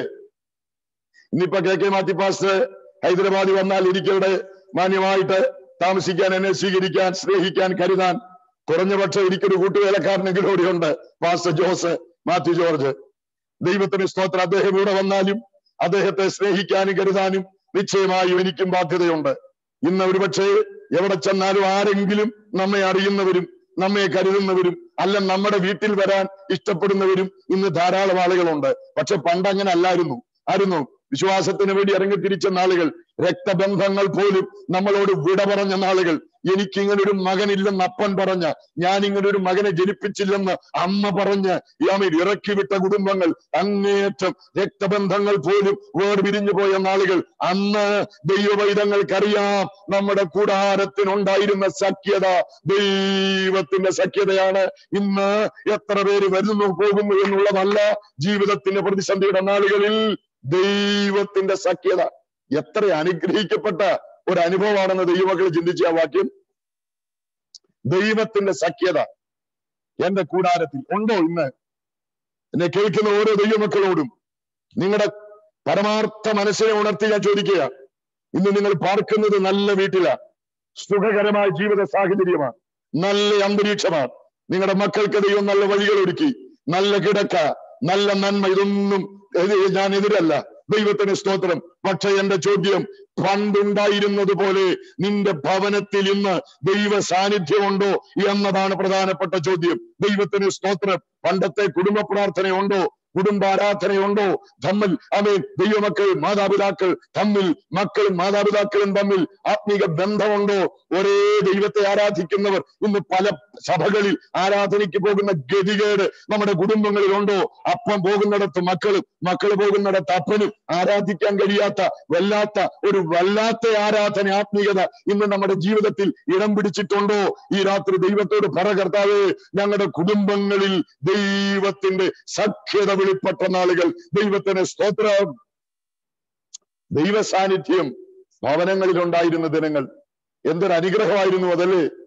ഇല്ലായ്മയുടെയും വല്ലായ്മയുടെയും ദാരിദ്ര്യത്തിന്റെയും അനുഭവങ്ങളിലും ഒന്നിച്ച് പ്രാർത്ഥിച്ച് ഒന്നിച്ച് ആരാധിച്ച് ഒന്നിച്ച് സ്നേഹത്തിൽ ജീവിച്ച നാളുകൾ ഇതൊക്കെയല്ലേ നമുക്കിന്ന് നഷ്ടപ്പെട്ടത്?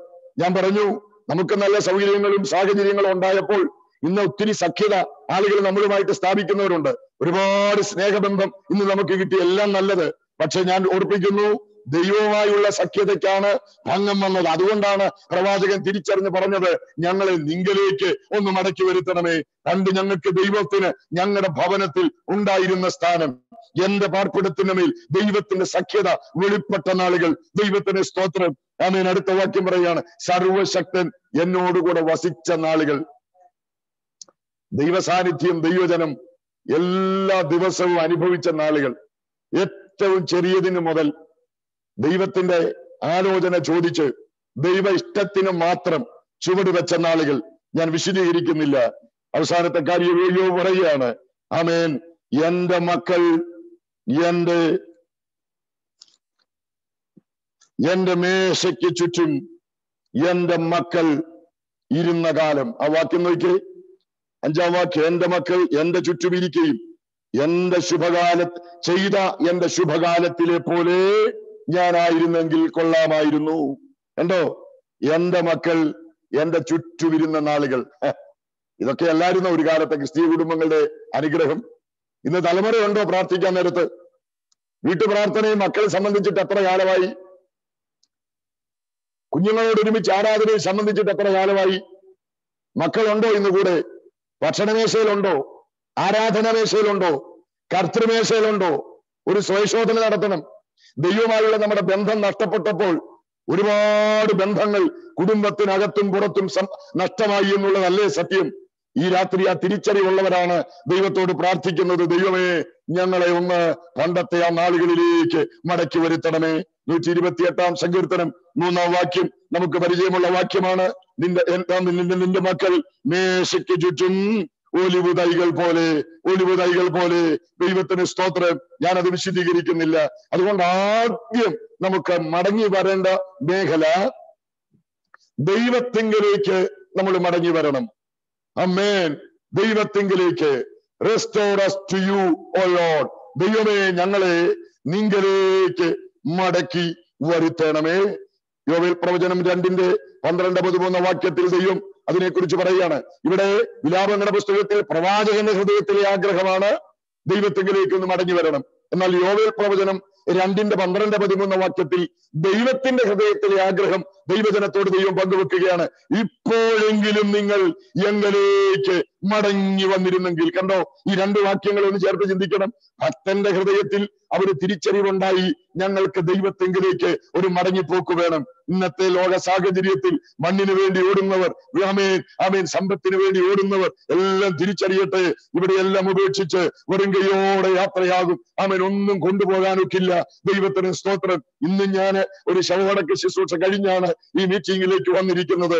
എനിക്കറിയാം ദൈവമക്കളെ നമ്മൾ നേടിയതെല്ലാം ഇവിടെ ഉപേക്ഷിച്ച് വെറുങ്കയോടെ എല്ലാവരെയും യാത്ര അയച്ചു ബഹുനില മന്ദിരത്തിൽ അന്തി കേവലം അഞ്ചടി മാത്രം വലിപ്പമുള്ള ആമേൻ ഒരു കൊച്ചറയ്ക്കകത്ത് കൊണ്ടുവച്ചിട്ടാണ് നമ്മൾ പലപ്പോഴും ആമേൻ ആമേൻ ശവസംസ്കാര ശുശ്രൂഷ എന്ന് പറഞ്ഞ് തിരിച്ചു പോരുന്നത്. ഇത്രയേ ഉള്ളൂ. ഇവിടെയാണ് നമ്മൾ ഒരു തിരിച്ചറിവിലേക്ക് വരേണ്ടത് മടങ്ങി വരേണ്ടത് ദൈവത്തെങ്കിലേക്കാണ്. ഇവിടെ ദൈവം വിളിച്ചു പറയുന്നു നിങ്ങൾ ഇപ്പോഴെങ്കിലും എങ്കിലേക്ക് മടങ്ങി വരണം. കണ്ടോ?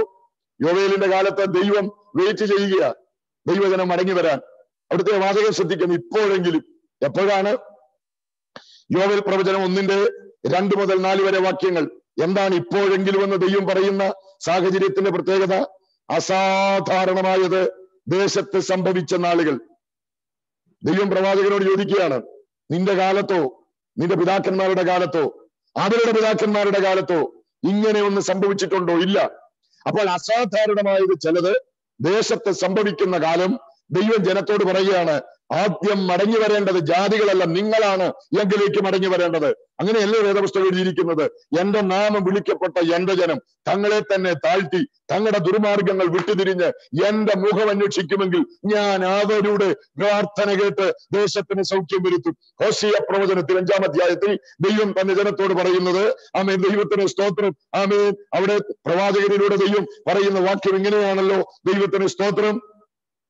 നിങ്ങൾ എങ്കിലേക്കും മടങ്ങി വരുമെങ്കിൽ അമേൻ അമേൻ നിങ്ങൾ എങ്കിലേക്കും മടങ്ങി വരുവോളം ഞാൻ മടങ്ങിപ്പോയി എന്റെ സ്ഥലത്തിരിക്കും. ഓരോരുത്തൻ താൻ താന്റെ കുറ്റം ഏറ്റുപറഞ്ഞ് മടങ്ങി വരുവോളം ഞാൻ മടങ്ങിപ്പോയി എന്റെ സ്ഥലത്തിരിക്കും. അപ്പോൾ ആദ്യം ഈ പ്രതിസന്ധിയുടെ നാളുകളിൽ ദേശത്ത് അമേൻ അസാധാരണമായത് സംഭവിക്കുന്നത് കാണുമ്പോൾ ദൈവം ആദ്യം വിളിക്കുന്നത് പുറം ലോകത്തെ അല്ല അകത്തുള്ളവരെയാണെന്ന് ദൈവമക്കൾ അറിയണം.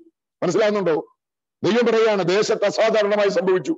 നിങ്ങളുടെ കാലത്തോ നിങ്ങളുടെ പിതാക്കന്മാരുടെ കാലത്തോ ഇതുവരെ കേട്ട് കേൾവിയില്ലാത്തത് നിങ്ങളുടെ കണ്ണിന് മുമ്പിൽ കാണുമ്പോൾ നിങ്ങളുടെ കാലത്ത് അത് നടക്കുമ്പോൾ നിങ്ങൾ ആദ്യം ജനം ജീവനുള്ള ദൈവത്തെ അറിയുന്ന ജനം ദൈവത്തെങ്കിലേക്ക് മടങ്ങി വരണം എങ്കിലേക്ക് തിരിയുവീൻ എന്ന ഹോവിടെ അരുളപ്പാട്.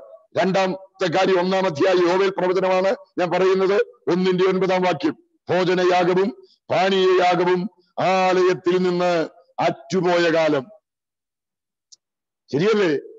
പാനീയയാകവും ഇല്ല ആലയത്തിൽ നിന്ന് അറ്റുപോയി. ഒന്നിന്റെ പന്ത്രണ്ടാം വാക്യം. ആനന്ദം മനുഷ്യരെ വിട്ടു മാഞ്ഞുപോയി. ഒന്നിന്റെ പതിനാറാം വാക്യം. ദൈവത്തിന്റെ ആലയത്തിൽ നിന്ന് സന്തോഷവും ഉല്ലാസഘോഷവും അറ്റുപോയി. ഒന്നിന്റെ പതിനേഴാം വാക്യം. വരുമാന നഷ്ടം. പാണ്ഡികശാലകൾ ശൂന്യമായി. കളപ്പുരകൾ ഇടിഞ്ഞു കിടക്കുന്നു ദൈവത്തിന് സ്തോത്രം. ഇതല്ലേ ഇന്നത്തെ സ്ഥിതി. കർത്താവിന് വേണ്ടി ശക്തിയോടെ പല മേഖലകളിൽ പ്രയോജനപ്പെട്ട ചില സഹോദരങ്ങളൊക്കെ ഇന്ന് ആലയം ശൂന്യമായി കിടക്കുമ്പോൾ വരുമാനമില്ല ശുശ്രൂഷയിൽ മുൻപോട്ട് പോകാൻ മാർഗമില്ല. ഈ കഴിഞ്ഞ ദിവസങ്ങളിൽ പലരെ ഞാൻ കണ്ടു. ഭൗതികമായ മറ്റു പല പരിപാടികൾക്കും താൽക്കാലിക ഉപജീവന മാർഗത്തിനു വേണ്ടി ആമ ഇന്ന് വരെ പോകാത്ത മേഖലകളിൽ പലരും പോയിരിക്കുന്നു. ജീവിക്കണ്ടേ എന്നാണ് ചോദ്യം. ഇതല്ല ഇന്നത്തെ ആത്മീക ലോകത്ത് ഒരു പരിധി വരെ പലയിടങ്ങളിൽ നമ്മൾ കാണുന്നത് ജനത്തിന്റെ വരുമാനത്തിന്റെ നഷ്ടം. ആനന്ദം മനുഷ്യരെ വിട്ടുമാറി. ആലയത്തിൽ ആരാധനയും സന്തോഷഘോഷവുമില്ല. പാനീയ യാഗവും ആമേൽ ഭോജനയാഗവുമില്ല അസാധാരണമായ ദേശത്ത് സംഭവിക്കുന്നു. ദൈവം പറയുന്നു ഇപ്പോഴെങ്കിലും നിങ്ങൾ എങ്കിലേക്ക് മടങ്ങി വരുവീ ഇന്ന് രാത്രി ഞാൻ ദൈവമക്കളോട് പറയുന്നു ആദ്യം നമ്മൾ മടങ്ങി വരേണ്ടത് നമ്മിൽ മടങ്ങി വരേണ്ടത് ദൈവവുമായുള്ള നമ്മുടെ ബന്ധമാണ്. ദൈവവുമായുള്ള ബന്ധം. രണ്ടാമത്തെ കാര്യം നാം മടങ്ങി വരേണ്ട. പണ്ടത്തെ അമീൻ വിലാപങ്ങളുടെ പുസ്തകത്തിൽ നമ്മൾ വായിച്ചതുപോലെ പണ്ടത്തെ പോലെ ഒരു നല്ല കാലത്ത് നാം മടങ്ങി വരേണ്ട രണ്ടാമത്തെ ഒരു സ്ഥിതി ഇരമ്യ പ്രവചനം മുപ്പത്തി മൂന്നാം അധ്യായത്തിന്റെ പതിനൊന്നാമത്തെ വാക്യമാണ്. ഇരമ്യ പ്രവചനം മുപ്പത്തി മൂന്നാം അധ്യായത്തിന്റെ പതിനൊന്നാമത്തെ വാക്യം. സ്തോത്രം. നാം അവിടെ ഇങ്ങനെയാണ് വായിക്കുന്നത്. ഇരമ്യ മുപ്പത്തി മൂന്നിന്റെ പതിനൊന്നാം വാക്യം. ദൈവം പറയുകയാണ് ഇനിയും മാനന്ദഘോഷവും സന്തോഷധ്വനിയും മണവാളന്റെ സ്വരവും മണവാട്ടിയുടെ സ്വരവും. സൈന്യങ്ങളുടെ യഹോവയെ സ്തുതിപ്പീൻ.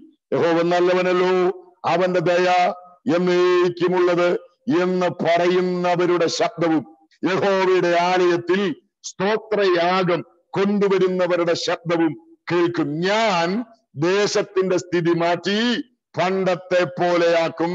ഞാൻ ദേശത്തിന്റെ സ്ഥിതി മാറ്റി പണ്ടത്തേതുപോലെയാക്കും ഇന്ന് രാത്രി ദൈവത്തിന് തന്റെ ആലയത്തോട് ബന്ധപ്പെട്ട് ദൈവസഭയോട് ബന്ധപ്പെട്ട് ചില പഴയ അനുഭവത്തിലേക്ക് നമ്മെ മടക്കി കൊണ്ടുവരണമെന്ന് ദൈവത്തിന് ആഗ്രഹമുണ്ട്. ആ വാക്യം ദൈവമക്കൾ ഒന്ന് ശ്രദ്ധിക്കണേ. ദൈവം പറയുക ഞാൻ ദേശത്തിന്റെ സ്ഥിതി മാറ്റി പണ്ടത്തെ നാളുകൾ. അതാണ് പ്രവാചകൻ പ്രാർത്ഥിച്ചത്. ദൈവമേ ഞങ്ങൾക്ക് പണ്ടത്തെ പോലെ ഒരു നല്ല നാളുകൾ മടക്കി തരണമേ. എന്താണ് ഇവിടെ രമ്യാവിലൂടെ ദൈവം ജനത്തോട് പറയുന്ന ദൂത് ഞാൻ പണ്ടത്തെ പോലെ ദേശത്തിന്റെ സ്ഥിതി മാറ്റി ദേശത്തെ ഞാൻ കൊണ്ടുവരുമെന്ന് ദൈവം പറയുമ്പോൾ എന്തായിരുന്നു പണ്ടത്തെ സ്ഥിതി എന്നാണ് ആ വാക്യം നമ്മളോട് പറയുന്നത്. അവിടെ എഴുതിയിരിക്കുന്നത് ആനന്ദഘോഷവും സന്തോഷധ്വനിയും ദൈവത്തിന് സ്തോത്രം ആലയത്തിൽ ഉണ്ടായിരുന്ന പണ്ടത്തെ കാലം. അമേൻ ഒന്നുകൂടെ ഞാൻ പറയുന്നു ആനന്ദഘോഷവും സന്തോഷധ്വനിയും മനവാളന്റെ സ്വരവും മണവാട്ടിയുടെ സ്വരവും സൈന്യങ്ങളുടെ ഹോവൻ നല്ലവനല്ലോ. അവന്റെ ദയ എന്നേക്കുമുള്ളതെന്ന് പറയുന്നവരുടെ ശബ്ദവും യഹോവയുടെ ആലയത്തിൽ സ്തോത്രയാഗം കൊണ്ടുവരുന്നവരുടെ ശബ്ദവും കേൾക്കും. ഇതാണ് ഇന്ന് പണ്ടത്തെ സ്ഥിതി. ദൈവം പറയാണ് ഞാൻ ദേശത്തിന്റെ സ്ഥിതി മാറ്റി ആലയത്തിന്റെ സ്ഥിതി മാറ്റി ദൈവജനത്തിന്റെ സ്ഥിതി മാറ്റി. പണ്ടത്തേതുപോലെ ഒരു സ്ഥിതിയിലേക്ക് അവരെ കൊണ്ടുവരും. എന്താണ് നമുക്ക് മടങ്ങി വരേണ്ട സ്ഥിതി? ആലയത്തിൽ ആമേൻ. ആനന്ദഘോഷവും സന്തോഷധ്വനിയും ഉയർന്ന നാളുകൾ. ആമേൻ. യഹോവ നല്ലവനല്ലോ. അവന്റെ ദയ എന്നേക്കുമുള്ളതെന്ന് മണവാളനും മണവാട്ടിയും പറഞ്ഞ നാളുകൾ. സകല ജനവും അതരം തുറന്ന് ദൈവത്തെ സ്തുതിച്ച നാളുകൾ. എന്നെ കേൾക്കുന്ന ദൈവമക്കളെ ദൈവത്തോടൊന്ന് പ്രാർത്ഥിക്കാമോ? കർത്താവ് പണ്ടത്തേതുപോലെ ഞങ്ങളുടെ ആലയങ്ങൾ ആരാധനയുടെ ധ്വനി കൊണ്ട് സ്തുതിയുടെ ശബ്ദം കൊണ്ട് സ്തോത്ര സ്വരം കൊണ്ട് ഞങ്ങളുടെ ആരാധനാലയങ്ങൾ നിറയുന്ന ഒരു സ്ഥിതി ഇന്ന് കേവലം ചില വാദ്യഘോഷങ്ങളുടെ വാദ്യോപകരണങ്ങളുടെ ശബ്ദഘോഷത്തിനപ്പുറത്ത് യഹോവൻ നല്ലവനല്ലോ. അവന്റെ ദയ എന്നേക്കുമുള്ളതെന്ന് ദൈവമക്കൾ ആധരം തുറന്ന് ദൈവത്തെ പാടി ആരാധിച്ച പണ്ടത്തെ ഒരാരാധനയിലേക്ക് നാം മടങ്ങി വരണമെന്ന് ദൈവം ആഗ്രഹിക്കുന്നു. നമ്മൾ എത്ര പേരെ ആഗ്രഹിക്കുന്നുണ്ട്? We must restore in our praise and worship ശരിയായ ആരാധനയിലേക്ക് ശരിയായ സ്തുതിയിലേക്ക്. സ്തോത്രം. ഇന്ന് എനിക്ക് തോന്നിയിട്ടുണ്ട് ഞാനും അത്യാവശ്യം നല്ല കൊയറുണ്ട്. ഞാൻ ആരാധിക്കുന്ന ഈ ചർച്ച നല്ല പാട്ടുകാരനുണ്ട്. വാദ്യോപകരണങ്ങളൊക്കെ അത്യാവശ്യം അത്യാവശ്യമുണ്ട്. ഞാൻ ചിലപ്പോഴൊക്കെ ശ്രദ്ധിച്ചിട്ടുണ്ട്. ഈ ആരാധനയുടെ കരണ്ട് പോകുമ്പോ പെട്ടെന്നൊന്ന് പവർ കട്ടായാൽ അപ്പോൾ അറിയാം ഈ വാദ്യോപകരണങ്ങളാണോ ആരാധിക്കുന്നത് മനുഷ്യരാണോ ഇവിടെ കീബോർഡ് എട്ടര കട്ടയ്ക്ക് പിടിച്ച് അതിന് മുകളിൽ കീബോർഡുകാരൻ കേറി നിന്ന് ഞെക്കി പിടിച്ചുകൊണ്ട് നിൽക്കുകയാണ് പത്ത് വിരൽ പോരല്ലോ ഇപ്പൊ. പുള്ളി ഇതെല്ലാം കൂടെ ഞെക്കി പിടിച്ച് കയറി നിന്ന് ഡ്രം അടിച്ച് പൊട്ടിച്ച് എല്ലാം കൂടെ ഒച്ച ഉണ്ടാക്കുമ്പോൾ നമ്മളെല്ലാം വിചാരിക്കുന്നത് ഭയങ്കര ആരാധനയാണ്. എപ്പോഴേലും പവർ ഒന്ന് കട്ടാകണം അപ്പോൾ അറിയാം നമ്മളാണോ ആരാധിച്ചത്? കീബോർഡാണോ ആരാധിച്ചത്? എന്റെ പൊന്നു സഹോദരങ്ങളെ ഈ വാക്യം നിങ്ങൾ വായിച്ചോ. ദൈവം നമുക്ക് തന്ന എല്ലാ നന്മകളെയും ഞാൻ അതിനെ അപ്രീഷിയേറ്റ് ചെയ്യുന്നയാളാ. നല്ല താളത്തിനും നല്ല പാട്ടിനും ഇതൊക്കെ നമുക്ക് സപ്പോർട്ട് അതൊന്നും വേണ്ടെന്നൊന്നും ഞാൻ പറഞ്ഞില്ല. ഞാനും അതിനെ ന്യായമായ നിലയിൽ പ്രോത്സാഹിപ്പിക്കുന്നയാളാ. പക്ഷെ എന്റെ ചോദ്യം യഹോവൻ നല്ലവനാണെന്ന് ദൈവത്തിന്റെ നന്മ അനുഭവിച്ച ദൈവമക്കൾ വാ തുറന്ന് പറയുന്നതിന് പകരമാണോ കീബോർഡിന്റെ ശബ്ദം? യഹോവൻ നല്ലവനാണെന്ന് അവന്റെ ദയ എന്നേക്കുമുള്ളതാണെന്ന് ഈ മഹാമാരിയുടെ കാലത്ത് ഈ കോവിഡിന്റെ പശ്ചാത്തലത്തിൽ നിന്റെ ഇടത്തും വലത്തും നിന്ന പലരും ഈ ഭൂമുഖത്ത് നിന്ന് തുടച്ചു മാറ്റപ്പെട്ടപ്പോ ആയുസ് തന്ന് ആരോഗ്യം തന്ന് സൗഖ്യം തന്ന് നിന്നെ നിർത്തിയ ദൈവത്വം എന്റെ ദൈവത്തിന്റെ ദയ വലിയതാണെന്നൊന്ന് വാതുറന്ന് പറയുന്നതിന് പകരമാകുമോ? ഇവിടുത്തെ സംവിധാനങ്ങൾ ഇല്ലവേ ഇല്ല. ദൈവം പറയുകയാണ് ഞാൻ എനിക്ക് പണ്ടത്തെ ആരാധന ഇഷ്ടമാണ്. ദൈവം പറയുന്നു ഞാൻ ആ സ്ഥിതിയിലേക്ക് എന്റെ ജനത്തെ മടക്കി വരുത്തും. ആമേൻ. നമുക്കറിയാം ഇന്നത്തെ വാദ്യോപകരണങ്ങളൊന്നും ഇല്ലാത്ത കാലത്ത് ആകെ ഉണ്ടായിരുന്നത് ഒരു ഡ്രമ്മും ഒരു സൈഡ് ഡ്രമ്മുമാണ്. അത് ഉള്ളിടത്ത് അതുപോലും ഇല്ലാത്തിടത്ത് കരമടിച്ച് ദൈവത്തെ ആരാധിച്ച് മുഴങ്കാലിൽ നിന്ന് ദൈവത്തെ സ്തുതിച്ച ആത്മനിറവിൽ ആരാധിച്ച അന്യഭാഷകളിൽ ദൈവത്തെ ആമേ മണി ആമേ സമയം പോകുന്നത് അറിയാതെ ആരാധിച്ച ഒരു കാലം ഓർമ്മയില്ലേ? ഇന്ന് രാത്രി എത്ര പേര് പറയും കർത്താവ് ആ പണ്ടത്തെ ആരാധനയുടെ ആ നല്ല കാലത്തേക്ക് ഞങ്ങളെ ഒന്ന് മടക്കി വരുത്തണമേ. ഓ ഞങ്ങളെ ഒന്ന് മടക്കി കൊണ്ടുവരണമേ കർത്താവ്. സാങ്കേതിക വിദ്യകളല്ല ജീവനുള്ള ദൈവത്തെ ആരാധിക്കാൻ ആത്മാവിൽ വിശുദ്ധീകരിക്കപ്പെട്ട ദൈവമക്കൾ തയ്യാറാകുന്ന ഒരു കാലം. ആ വാക്യം നിങ്ങൾ ശ്രദ്ധിക്കണം. ആലയത്തിൽ സ്തോത്രയാഗം കൊണ്ടുവരുന്നവരുടെ ശബ്ദം കേൾക്കുമെന്നാണ് ദൈവം പറഞ്ഞത്. കണ്ടോ? ആലയത്തിൽ സ്തോത്രയാഗം കൊണ്ടുവരുന്നവരുടെ ശബ്ദം. അതാ ദൈവത്തിന് കേൾക്കാൻ ഇഷ്ടം.